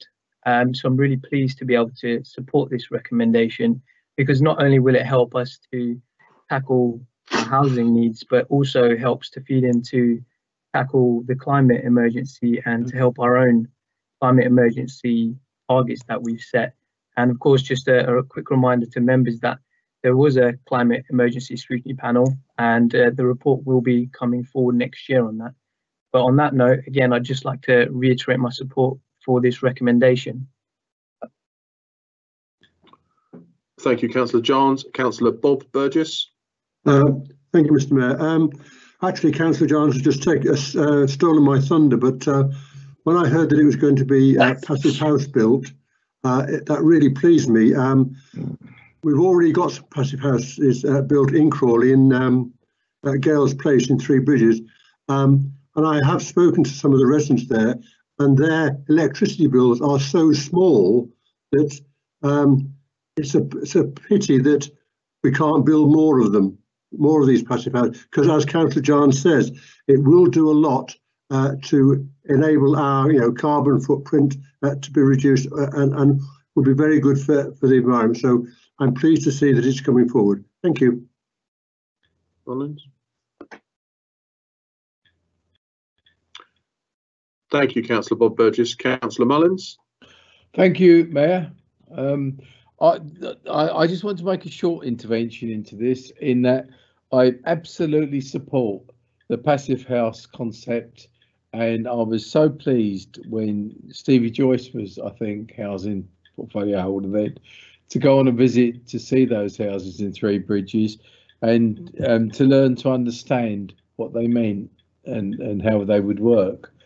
And the reason that I'm speaking is that we've been told by Homes England they want to build up to 10,000 houses on the on the west of Crawley, um, and I think we should use all our resources as a council and all our rights to consultation and input into arguing for modern, up-to-date passive housing as part of that whole development, um, and not just allow um, contractors to run off and build the type of houses they want, but to say that we need to be as um, seeing modern, up-to-date houses built to the highest technical standards of environmental protection and and what and, and all that means. So can I'm just using this opportunity, Mayor, with your acquiescence to um, make an appeal to our officers who may be listening to this mm -hmm. to make sure that their input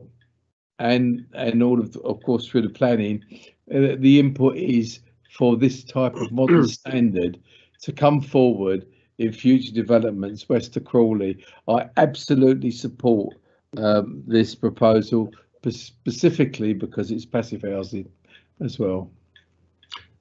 Thank you, Councillor Mullins. I, I, completely agree with you. If, if things are going to be built, we need to be building to, to, to, to, as much as we can to modern standards, certainly environmentally.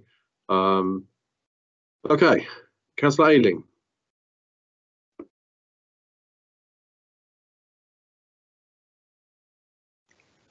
you. I just wanted to echo what everyone said really. Um, as board member, I'm I would like to support this um, recommendation. Thank you.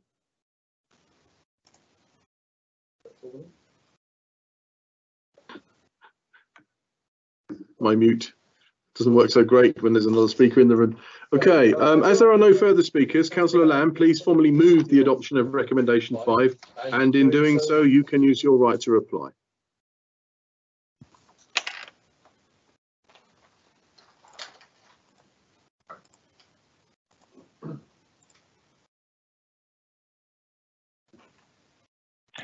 Uh, thanks, Mr. Mayor. Uh, I formally move uh, the recommendation. I, I, think there are just two additional points I'll put into the debate. The first is that we've had mention of passive housing It's worth noting actually that in addition to Three Bridges, we have been building passive housing elsewhere in Crawley. In fact, to some extent, it's become uh, the default nature of what we're trying to build as a way of trying to cut down uh, on our carbon emissions and to improve the quality of life for residents by cutting down their, their energy bills, uh, of course. Um, you know, if we can get things right, the first step, it certainly saves money in the future, particularly bearing in mind the efforts the council is going to have to go to re retrofitting, uh, you know, almost 20% of the towns, uh, 20 to 25% of the towns housing in the form of council housing to ensure that that is able to meet the uh, national targets on carbon emissions reduction by 2050. Uh, the other aspect is that Councillor Nunn spoke of, of encouraging uh, greater passive house building as part of any development west of Ifield. I should probably just say, in addition to that, that, that we're not in a point where we're encouraging uh, any development there. I think that was a reflection that if housing was to go ahead there, uh, that that housing should be built to the highest possible standards. Uh, I think we'd certainly hope that if it was built, it would be built in a way which would meet the very aspirations and needs of this town uh, in any number of ways. So I formally move the, recommend, uh, the recommendation. Thank you. Thank you, Councillor Lamb. We will now hold the vote on recommendation five, authority to approve a scheme budget and appoint a contractor for Breezehurst Phase 2 housing development from the Cabinet held on the 29th of November 2020. Will the Democratic Services Manager please conduct the vote? Thank you, Mr Mayor. Can I just check before we do a block vote if there's any Labour or Conservative members wishing to vote independently rather than through their parties, uh, their group's block vote? Indicate now. Okay, we'll start the block voting. Councillor Lunnon, will you please present the 14 Labour block votes? Um, the Labour 14 block votes are in favour of recommendation 5. Councillor Burrett, please, can you you please provide the 17 uh, Conservative votes? Yes, thank, thank you. Just to clarify, there's no radio on in my house. It wasn't me. Um, the, the, the 17 block votes are in favour of recommendation five. And finally, Councillor Sudan. Four. Thank you. Mr Mayor, that was unanimous, 32 votes in favour, no abstentions or, uh, or objections. Uh, okay, in that case, recommend uh, recommendation five is therefore agreed, and it is the most wonderful time of the year. So thank you for that. We are now going to consider the notice of motion, and this is where it gets a little bit complicated for people watching. As I am the mover of the notice of motion, and Deputy Mayor Councillor Malik is the seconder of the notice of motion, we are going to relinquish the chair and vice chair uh, for this item during the meeting. Therefore, can I seek nominations to chair the next item?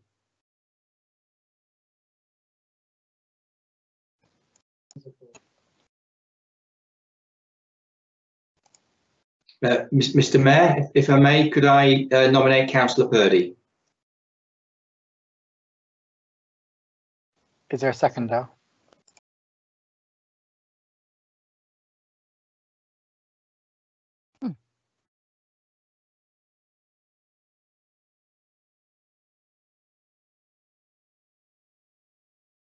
Councillor Burrett. Yes, I'm happy to second that. Thank you.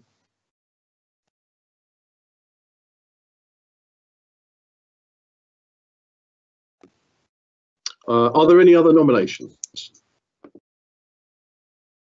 No.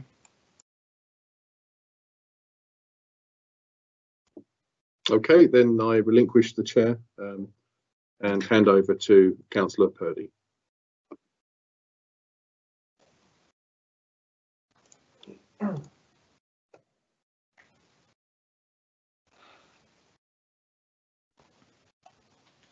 Councillor Purdy. Thank you, Mr Mayor. We will consider the notice of motion before us this evening, which is set out on page 17 of the agenda, entitled Notice of Motion, Donating the Mayoral Board Budget to the Mayoral Charities. This motion will be moved by Councillor Guidera and seconded by Councillor Malik. I therefore call upon Councillor Guidera to formally move and present the motion. Thank you. Uh, thank you, Chair. I formally move uh, my notice of motion. And uh, yeah, if, that's okay, I'd like to go into the details. Everybody knows that uh, right now uh, we're, we're not able to live normal lives at the moment because of the restrictions, the lockdowns, and all of the things that COVID has brought upon us. Our families, our friends are not allowed to gather and mingle. Uh, we've had a limited gap in the, in the middle of two lockdowns uh, where we were able to, you know, go to places to eat, but it was very restricted.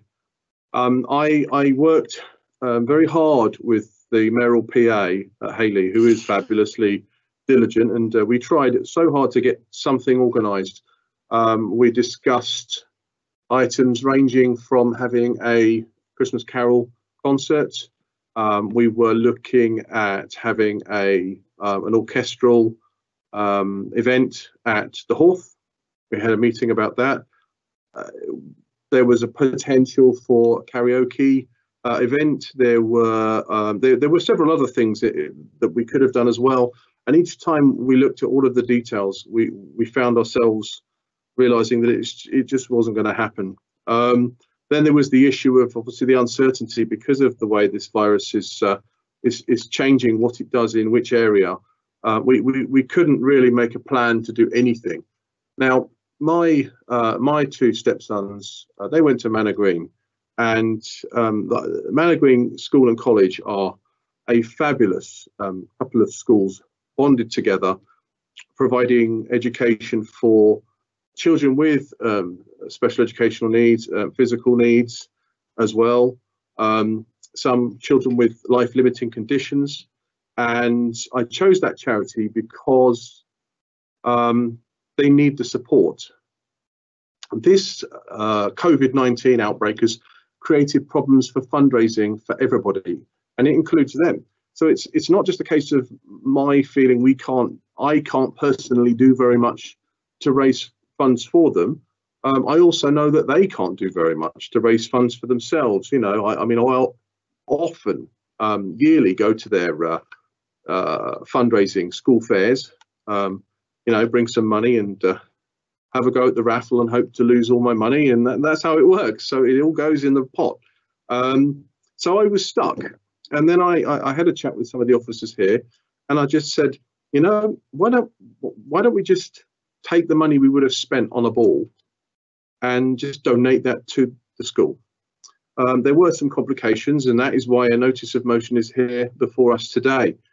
Um, in addition to that, with people facing redundancies, uncertainties, so on and so forth, it felt very uncomfortable the idea that I would hold an event, you know, an exclusive event like a ball, um, and therefore I wouldn't have gone ahead with that anyway so therefore, I, I, come before you to ask everyone to support this um, uh, so that we can donate uh, uh, what would have been spent on the Mayoral Ball directly to Manor Green School and College to help them provide the things that they need to provide uh, in addition um, for their children.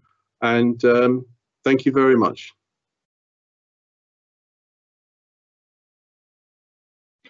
Uh, Councillor Guidera, before I bring in Councillor Malik, could I just ask you to confirm that you're proposing this notice of motion as a councillor and not as the mayor? Thank you. Yes, absolutely.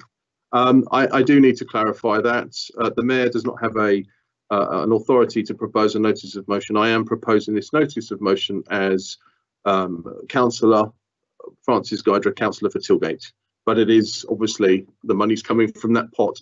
But procedurally, I'm proposing it as borough councillor. Thank you, councillor.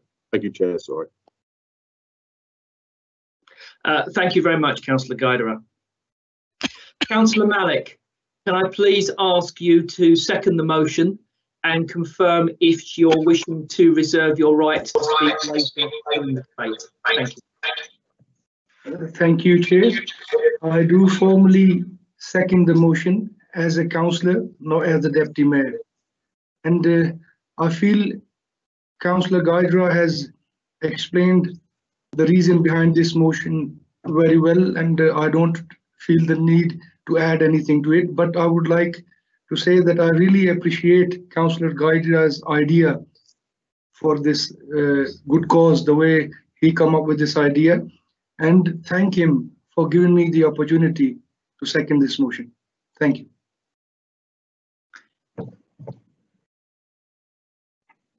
Thank you very much, Councillor. I will now open motion up to the floor for debate, starting with Councillor Ayling, please.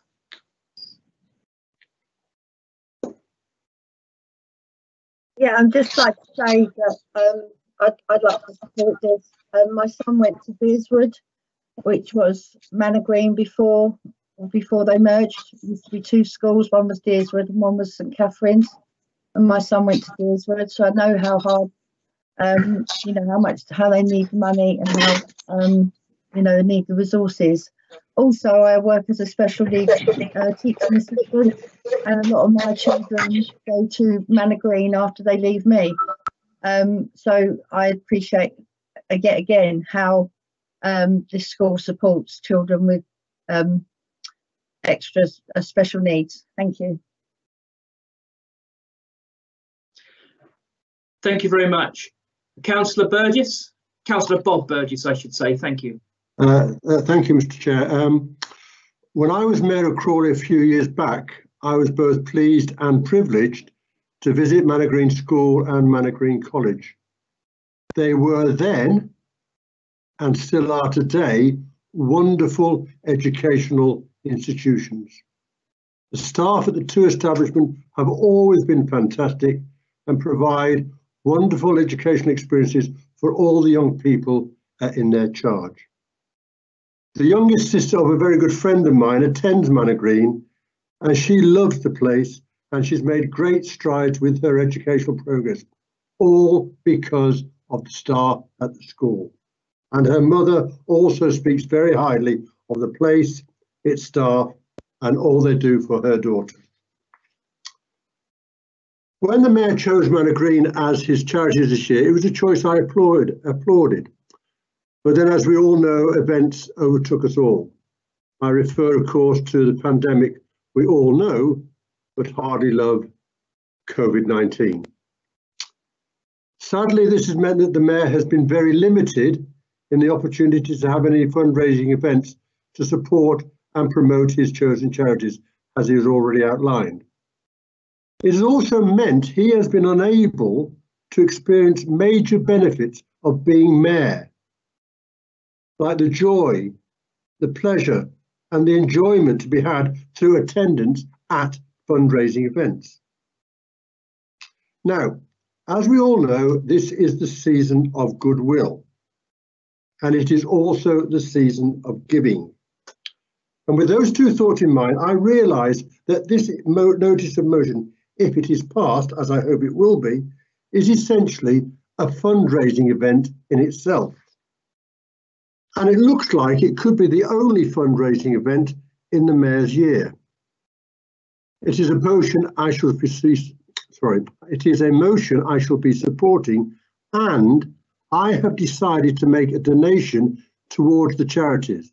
The donation I will make, be making is 5%, £250.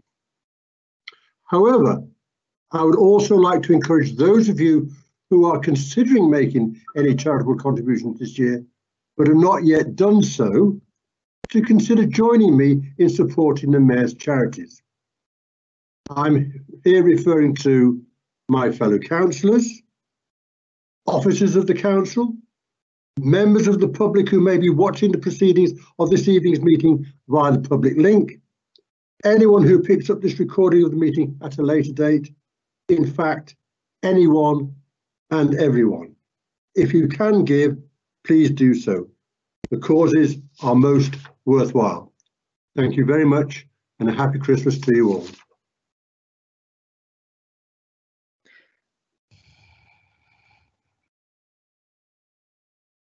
Thank you very much, Councillor Burgess. Can I please bring in Councillor Sharma? Thank you. Councillor Sharma, you're muted.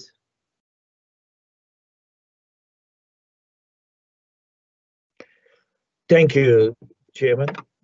Uh, in fact, my relationship goes back as a youth and community worker, a neighbor youth worker with both of the schools when they were Deerwood and St. Catherine's. And I was responsible for providing youth provisions in each one of those schools. So it's a long relationship I've had. I think it was no, mm, it was my pleasure last year as the mayor that it was one of my charities.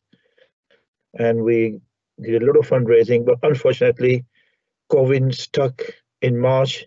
And as such, some of my biggest events, which were planned for the last few months to raise money for them, could not be held. Uh, and I think it was regretful at that time. I felt very, very sad. And I think I was mm, fantastically relieved and commented and complimented Councillor Guidera, who became the mayor, for choosing Manor Green as one of his charities. And I think it shows the kind of thinking we do have between us that there is a body, a group, a school, an establishment in Crawley which has a lot of young people that are all part of all societies and us, and we have great honor to serve them. I do have a personal interest, and which is so I do have the honor of being a governor at Manor Green College. As such, any any any money that could be raised, and I think this is without any being biased as a counselor, as a youth worker, as a member of society. It's fantastic that anything that we can do to raise funds for a school, we do fantastic piece of work, and we got a new headmaster there who's doing brilliant work, and I really applaud the support we are getting from both sides of the party. Thank you. Merry Christmas to all. Thank you, Councillor Sharma. Councillor Crow. Thank you very much, Mr. Chairman. And I never thought I would be saying that at a full council uh, meeting. So that's another first for for, for 2020. And I do believe that uh, you do have a casting vote, but I very much hope and expect that that would not be needed on this um, occasion. 2020 has indeed been a very uh, unusual year all round. And of course, the mayoralty is no different in it having been um, so uh, un unusual. As Councillor Burgess has said, it's been um, very difficult for the mayor to um, not only to fundraise but to also have the the, the enjoyment of the, the, the fundraising. It's uh, it's been it's been very very difficult, and I you know I, I feel the frustration of, of, of Councillor Gardner that he's not been able to to do that. But I do want to pay tribute to the mayor because I think what he has been doing is wherever he can, he's really been championing the town and its people and its small businesses at what have been really difficult times for us as a town. And so I just want to place on record my thanks that all he's been doing, he's done everything he can. And I think that's, that's, that's fantastic. But as has been stated, he has been unable to, to fundraise. So what we have here is actually a bit of innovation from, from Councillor Guidera. And again, I, I welcome that too. Um, Manor Green is, is is very dear to his heart. He feels passionately about it, and this is a way that he is able to do some fundraising for him. So I, I congratulate Councillor Guidera on bringing this motion forward. The Conservative group, and I'm sure all members will be wholeheartedly supporting it. And as the last, this is the last vote of the full council meeting of 2020. I'm really glad that we are ending on a on a high and able to do something so worthwhile for such a deserving cause. So thank you very much, Mr. Mayor, and thank you very much, Mr. Chairman. Uh, thank you, Councillor Crow. Councillor Jaggard.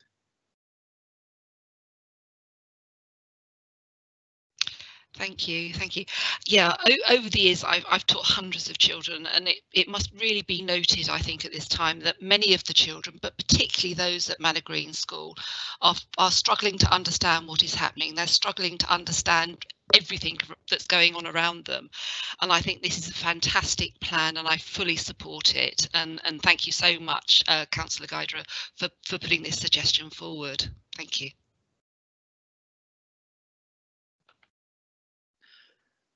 There are no further speakers coming forward.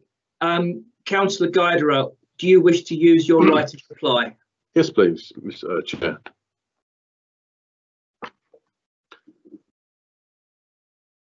Thank you. Um, thank you, everybody, for all the kind comments. Um, the important thing here today is that uh, that we give some much needed funds to the chosen charity and that is what we are planning. That's what i'm hoping. I'm assuming that's what we are definitely going to be doing today. Um, everything that's been said i agree with. Um, pay special tribute to uh, councillor ayling. You know um, outside of what we do here putting a chain on or you know putting on our councillor badges everything uh, we, we normal human beings go about our daily lives. And um, you know some some people do jobs um, it's a shame that uh, councillor mcelhenney is not here. I mean you know some people do jobs out in out in the uh, the wider world that um, put them at greater risk with, with this pandemic going on and, and they plow on um, regardless of the risk um, because they, they feel they have to. Um, the important thing for me is that at the end of this vote, we can all um, feel a sense of happiness and pride that we've done something fabulous today.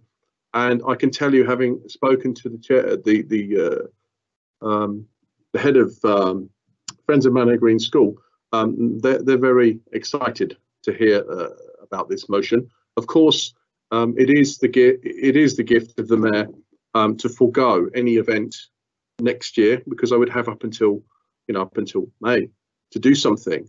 But my, my feeling is that the funds are there to for the public benefit, not for me to to, to throw uh, an, an event um, to celebrate. It's not to celebrate me.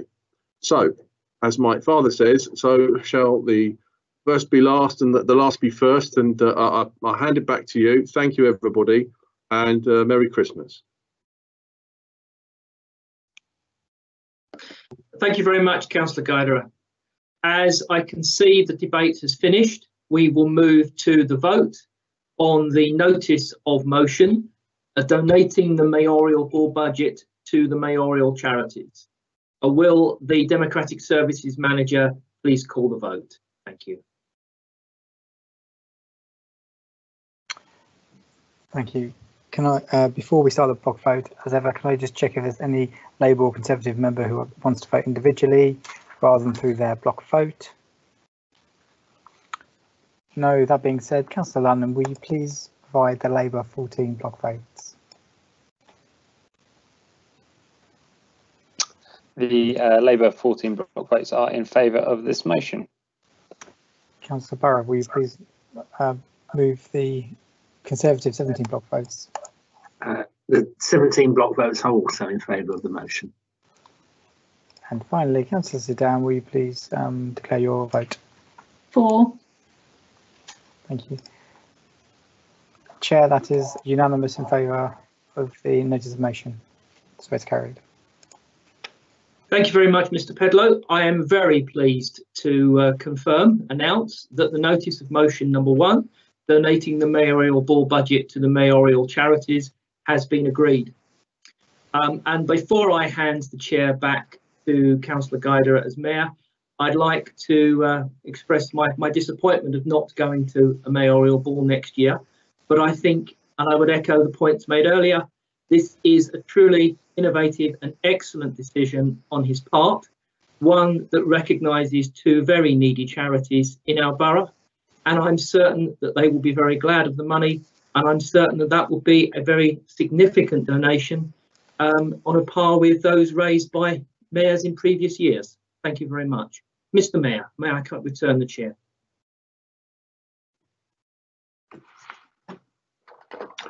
Thank you very much, um, Councillor Purdy. Thank you. And thank you, everybody. I don't need to say any more. Uh, you know I like to talk, but mm. um, if there was a subject I could talk about for a while, this would be it but we must move on because time is a uh, time is running out. Okay, so the next item is councillors' question time, and we have 30 minutes for this uh, redesigned item. We will start with uh, noting the two written questions submitted by Councillor Jaggard and Councillor Crow respectively as detailed in the supplementary agenda on page 9 which includes the responses by the cabinet member for cabinet sorry the cabinet member for environmental services and sustainability councillor Jhans and by the leader of the council uh, councillor Lamb councillor Jaggard do you wish to ask a supplementary question or ask a further question Sorry. No, no, I don't. Thank you. Thank you. Councillor Crow, do you wish to ask a supplementary question or ask a further question? Thank you, Mr Mayor. I don't wish to ask a supplementary uh, question, in part because there's quite a lot of information uh, provided and I've not had an ample opportunity to uh, to digest it all. Um, I, I, do have a further question for, for question time, which obviously is up to you when you want to uh, call me in, Chair, uh, Mr Mayor. You can either do that now or call me in later, it's up to you. We can do that now, as we're now moving on to question, general questions. So go ahead.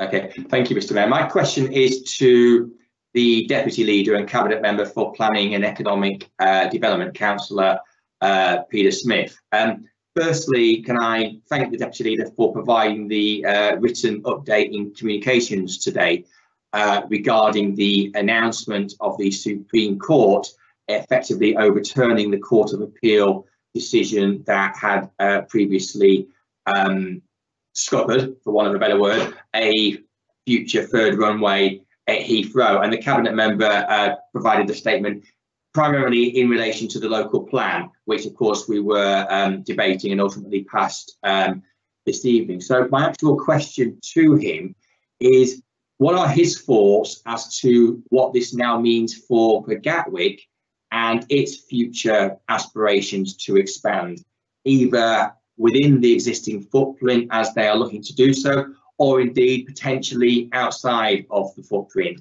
that we all know how aviation has been uh, suffering this year, and we hope it returns um, its, its flying numbers as, as, quickly as possible next year. But really, I'm interested in the cabinet members' thoughts as to the implications that today's decision uh, potentially has on the future of Gatwick Airport and its potential expansion.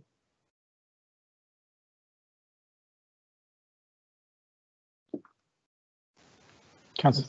Peter Smith. Councillor, Councillor Smith. And you're on mute. Yes, thank you, Councillor Crow. Not, not a simple question then. Um, I, am not sure I'm qualified to give a, a, detailed technical answer, but I can give you my thoughts.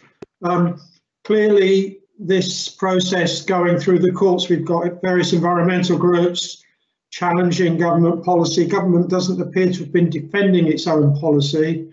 Um, when you then factor into that the unknowns related to post-COVID, where we all have many different views and ideas about whether we're going to be living in a changed world by the autumn or whether we'll all get inoculated and be back to business as usual.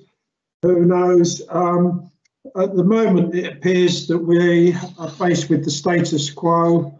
We've had no updates from Gatwick, and our last update from them was they were planning to continue with the DCO process for their northern um, emergency runway usage.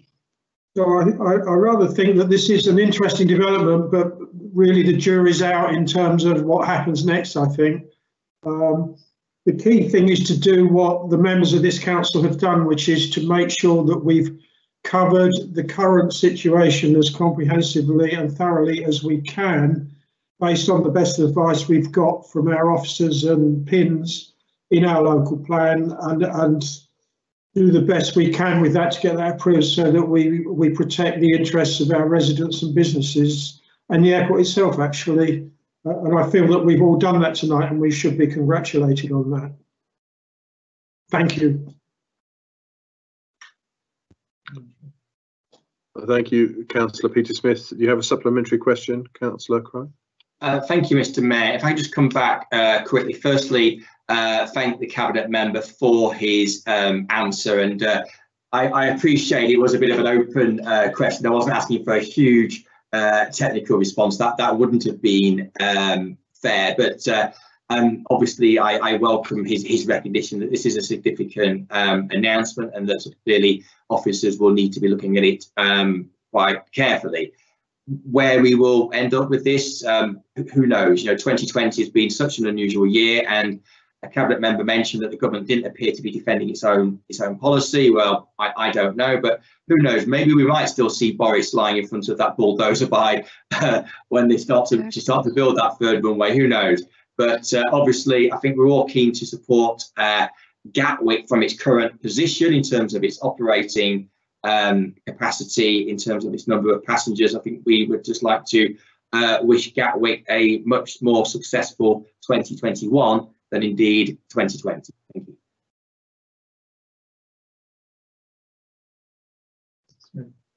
Thank you, Councillor Crow. Uh, Councillor Miller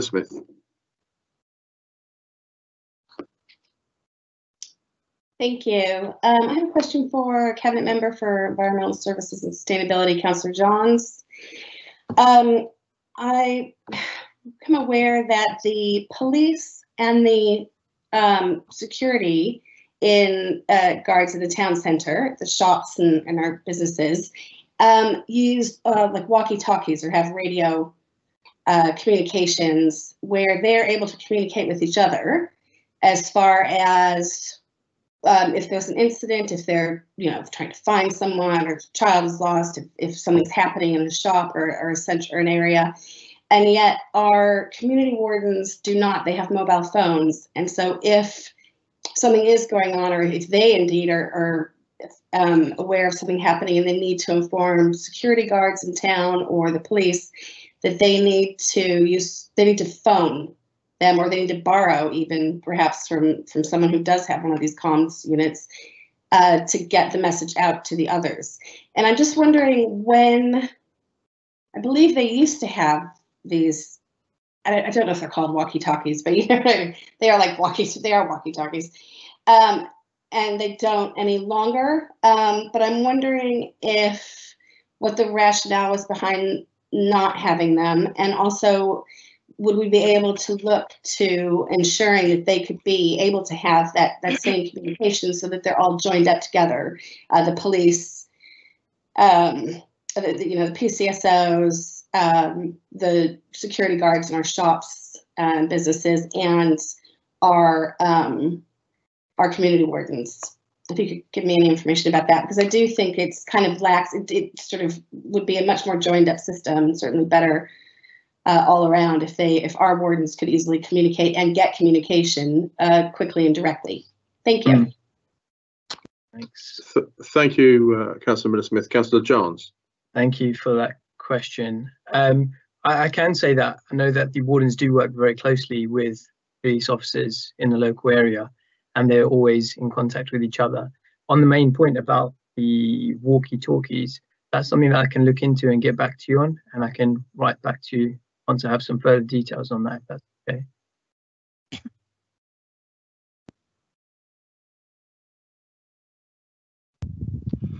Thank you, Councillor Miller Smith. Okay, do, would you like a supplementary question, Councillor Miller Smith, following up from that? No. Okay. Councillor Brenda Burgess. Uh, thank you, Mr Mayor. Um, I've got a question for Councillor Mullins, please. Um, Councillor Mullins, I'm sure you will join with me in saying how regrettable it is that some adventure playgrounds may need to close due to financial constraints. Thankfully, some will remain open and some will be refurbished to comply with the needs for unsupervised play. However, regarding those which may need to close, my question is, how were other options explored and considered uh, for example, bringing in external providers or supporters? Thank you.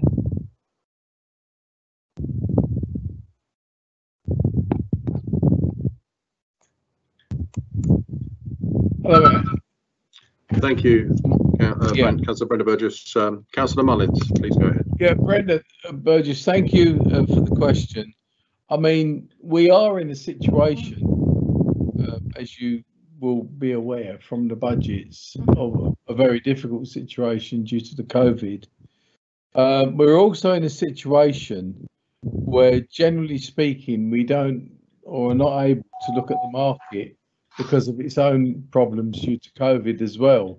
And that would be the case with any other contracts uh, that might due to be renewed at the moment. We are in a um, a very unusual situation nationally um, that's never ever occurred before, where there's a lot of close down and a lot of limits on how um, normal business might proceed. Um, there is no real scope in, in, if you like, privatising the adventure playgrounds because the principle of the adventure playgrounds was always free play, whereas all children in localities go to those centres and use them um, um, in the way that they they used to do years ago. Um, sadly, we um, are getting into an investment situation need for the adventure playgrounds now, and Waterlea at Furnace Green and uh, is to be done. Um, Cherry Lane has been done, and the other two would need the same sort of resources put into them, which at this moment in time are just not there. Um, so it's just a sad tale. I mean, it doesn't give me uh, any. It gives me sad feelings that, that we're in that situation. Very sad feelings, and I don't want to be in that situation. And I know that there will be some uh, public reaction, probably, um, um, to what's happening. But we're forced into that situation um, by uh, what we, we see now in front of us um, in the figures. Um, and we just don't have the sort of investment that we would need um, to, to, to do that. However, the positive side of it all is that we will be looking um, to provide alternative unsupervised play um, in, in, in both Bewbush and in, in indeed at Broadfield, um, where Creasy's Drive would need to close as well. We will be looking at both of those areas to do um, a good quality unsupervised provision. But recently, um, I went down and had a look, very recently actually, at uh, and it is just not suitable place for unsupervised play. It just isn't.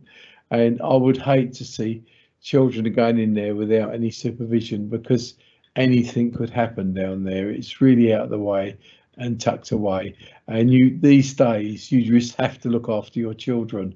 And if you send children into an area like that and you don't supervise it, that would be the first um, public criticism that you would get. You know, really, if anything went wrong. So we we are not we haven't made every decision yet. Uh, we've still got to look at what provision we can make that's unsupervised, but we are quite aware um, of the needs of locality, and that's we've had some um, street play going on recently where we've um, taken over put, taken over street uh, what we call play streets, and we've had children playing with professionals and and doing games on the streets like perhaps some of us used to do when we were younger. Uh, and, and it, obviously you've got to choose the street carefully. You can't do it the main thoroughfare. And, and we've had some very good results with that. So we are, we are not moving away from uh, bringing adventure and excitement to our children. That's the last thing we want to do. Um, and so we are looking to see how we can best provide um, interesting activities for our children into the future.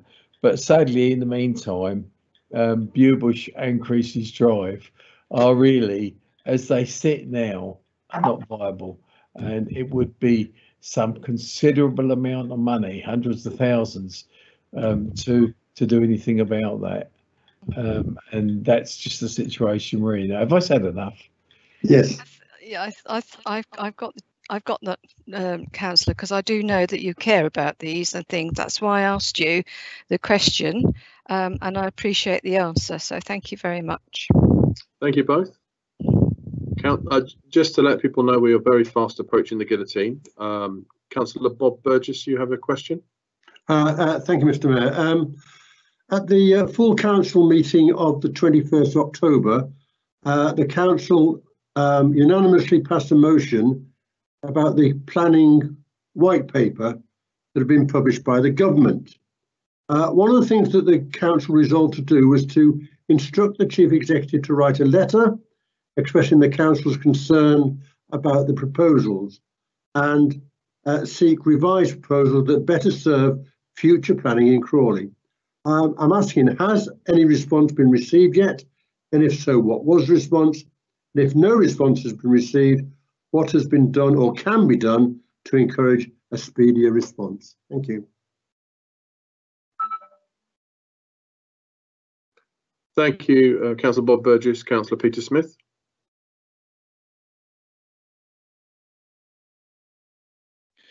Uh, thank you for your question, Councillor Bob Burgess. Um, the Chief Exec dutifully uh, sent a letter to the MHCLG as per the motion. Um, there has been no response received, but, but apparently this is not a surprise because it's assumed that our letter went in, or the Chief Executive's letter went into the normal responses to the proposals for, by the government, and we are not expecting to get any answers. Um, I'm sure you've heard, as I have today, that the uh, Mr. Jenrick, he was on the Today programme this morning, and he's going to change um, this formula for calculating these 300,000 homes and where they go. But he also said, and he was quite clear about it, he's bringing early in the new year comprehensive set of reforms forward, and we've got to look forward to those. So, if you want an answer, it seems to me that's it. But we know we haven't received a formal answer to the chief executive's um, letter. I must say, our experience in uh, recent times of sending letters to government ministers is we don't get very positive responses back at the moment. Thank you, Councillor Peter Smith. Uh, Councillor Bob Burgess, did you have a follow-up? Uh, well, uh, just to say, I, I, I await with interest the uh, further details of uh, what the government are, are proposing, but uh, uh, we'll wait and see. Thank you. Thank you. Before I bring any further questions uh, questions in, can I just sort of uh, find out how many more people are planning to ask a question if they could put their cameras on so that uh, the officer can be aware? To do we do that? Yeah,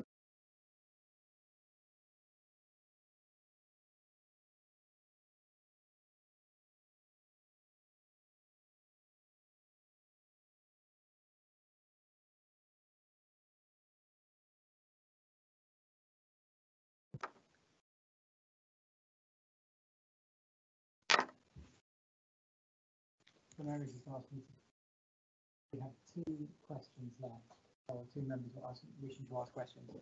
Um, if the council is minded to, rather than having a guillotine, uh, having a vote on the guillotine, our members happy to have these two questions and then uh, um, then do the last item, or would they prefer to have a uh, vote on the guillotine due to yes. the time? Yes. Yes, in terms of member indicates. Do, I think we can get these questions in. There's only two. Yeah. Is that is all members happy with that? Is there any obs- objections to that? Agreed.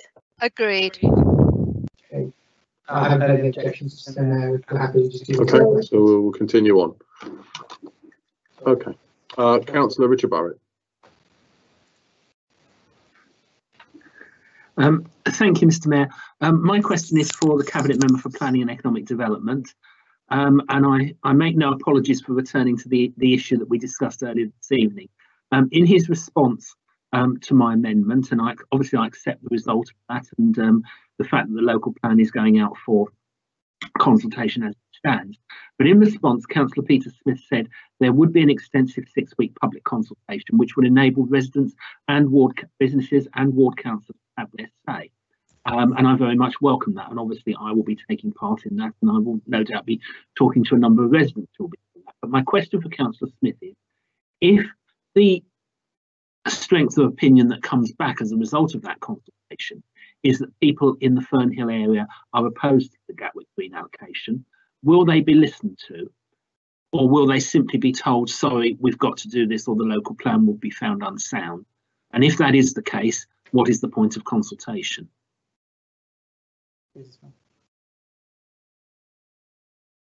Chair, Councillor Peterson. Councillor Peter Smith, mute button.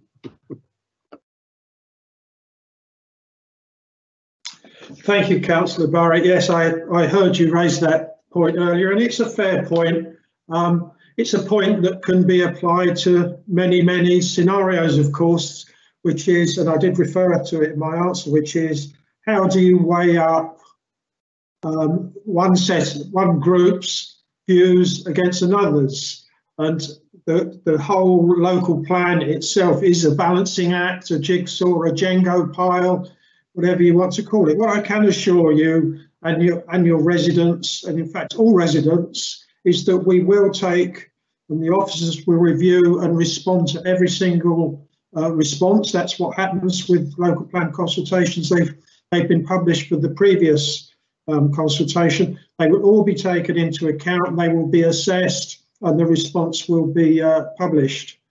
Uh, obviously, I can't prejudge um, your, you, the, the, outcomes. I don't know what the comments will be. People may be in favour of it because they uh, want to have jobs. Uh, people may not be in favour of it, but yes, they will all be taken seriously. I can assure you of that, and they will be dealt with by on the technical basis by our officers, and decisions will be made about them. I'm sorry, I can't be more specific than that.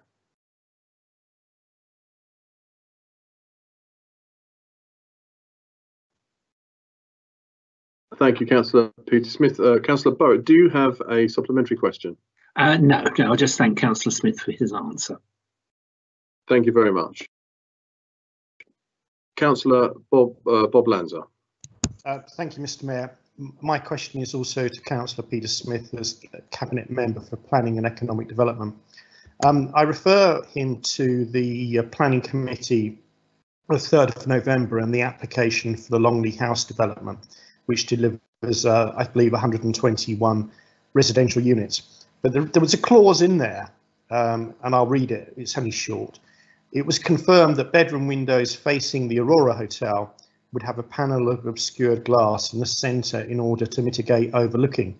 I'm not sure whether that means mitigate overlooking or cure overlooking or, or whatever. But uh, what I'd like to ask the cabinet member is this, that we all recognise the need for additional housing. And I suppose if we were building extensions, uh, you know, that might be slightly more acceptable if we felt the need to put in some obscure glazing. But the idea of having obscure glazing um, to a bedroom in the first instance um, might might disturb um, some people. It might seem a, a little bit desperate, and uh, I wonder how far he he would see that policy going of, of allowing. To what extent would he think it right to allow obscured glass in glass in the first instance in order to um, uh, support a planning application which would clearly otherwise be so compromised. Thank you.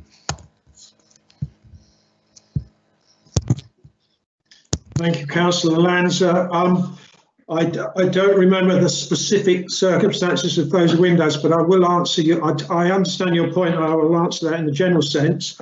Um, development control is, of course, as you as you well know, um, again, it's very much a balancing act where members have to listen to officers' technical assessment against all the various rules and regulations of local plan policies against the specific application sitting in front of them. So, for example, there can be a case where something that is not ideal is actually um, acceptable in the context of a, an application that is over over a, what has good merit and is justified on all other grounds. So, for example, we, we, we have lots of discussions on development control about the sizes of some of the gardens in, in Forgewood where they don't necessarily comply with the standards, but the overall maybe 50 houses, it does and it does comply. So can you reject something because uh, it doesn't comply to a specific piece of policy,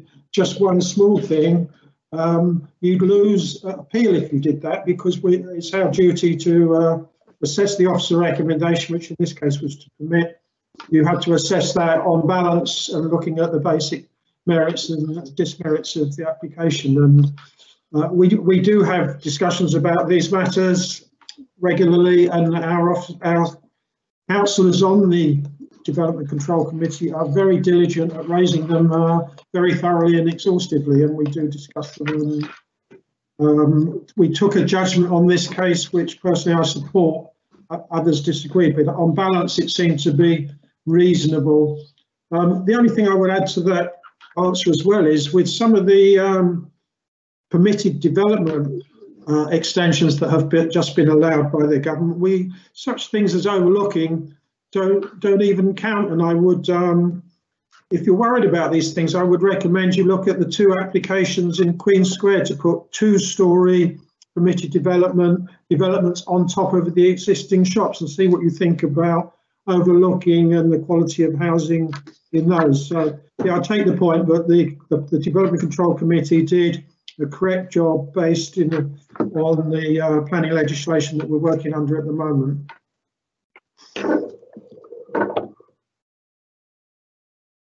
Thank you very much, Councillor Peter Smith. Do you have a supplementary, Councillor Lanzer? Uh, yes, thank, thank you, Mr Mayor. Just briefly, I, I, thank the Cabinet member for his answer, but I suppose I'd ask for his opinion in policy terms, uh, his opinion.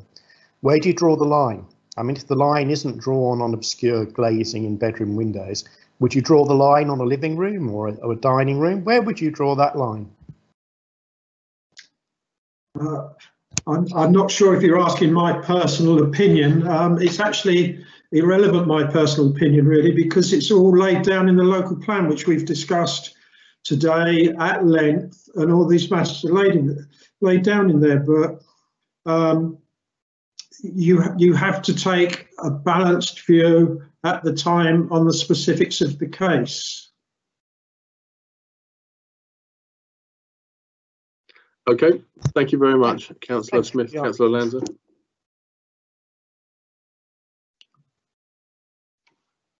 Okay, that's the end of the uh, question period. So, item nine, receiving the minutes of the Cabinet Overview and Scrutiny Commission and committees. I call upon the Deputy Mayor, Councillor Malik, to move the receipt of the reports uh, of the meetings as set out in agenda item 9 on page 19 and in the associated supplementary agenda. Thank you. I move that the reports of the Overview and Scrutiny Commission, Planning, Licensing, Governance Committees and Cabinet be received. Is that agreed? Agreed, everybody? Agreed. Agreed. Agreed. Agreed. Agreed. Over to you, Mr. Mayor. Thank you very much, Mr Deputy Mayor. Read. Read. On to reserved items. We have no items reserved, so uh, that means we move on to the next item. Now, there are no supplementary items of business, but um, before I declare the meeting of the council closed, um, I would just like to thank a few people. It is Christmas. Uh, the town has been through some challenging times, and um, I don't like to name names, but if I can sort of throw some stuff out there. First of all, I'd like to wish a Merry Christmas to everybody in Crawley. It's been a very difficult year. I, I hope that you can enjoy time with loved ones as much as possible, um, based on obviously whatever restrictions are in place when that day comes. Um, thank you to Crawley Open House, to the Easter team, to Giving Back Crawley, to the free shop, to uh, Dan from Spotted and Lakim Khan, to our nurses, to our doctors, to all of our schools, all of our teachers, all of our carers and the care homes. St Catherine's Hospice, most certainly, I have to do that for, very much for personal reasons, but thank you so much for everything you do. Um, I know there are more, but we, we need to thank all of you for everything you've done over the year. I also need to uh, make sure that so that the public don't think some of us are very dodgy wardrobes. Thank those who wore Christmas uh, Christmas jumpers and so on um, during this meeting and are going to, I hope, donate £10 to my charity. I do need to thank Councillor Bob Burgess for his very generous donation of £250 to my charity effort. And, um, you know, let's hope that next year is better because um, I think it will be. But uh, in the meantime, I, I hope that everybody has a great Christmas and thank you all very much. And I now declare this meeting closed. Happy Christmas. Thank you. Happy Christmas. Happy. Christmas. Merry Thank you. Christmas all. Christmas, everyone. Good night. Thanks all.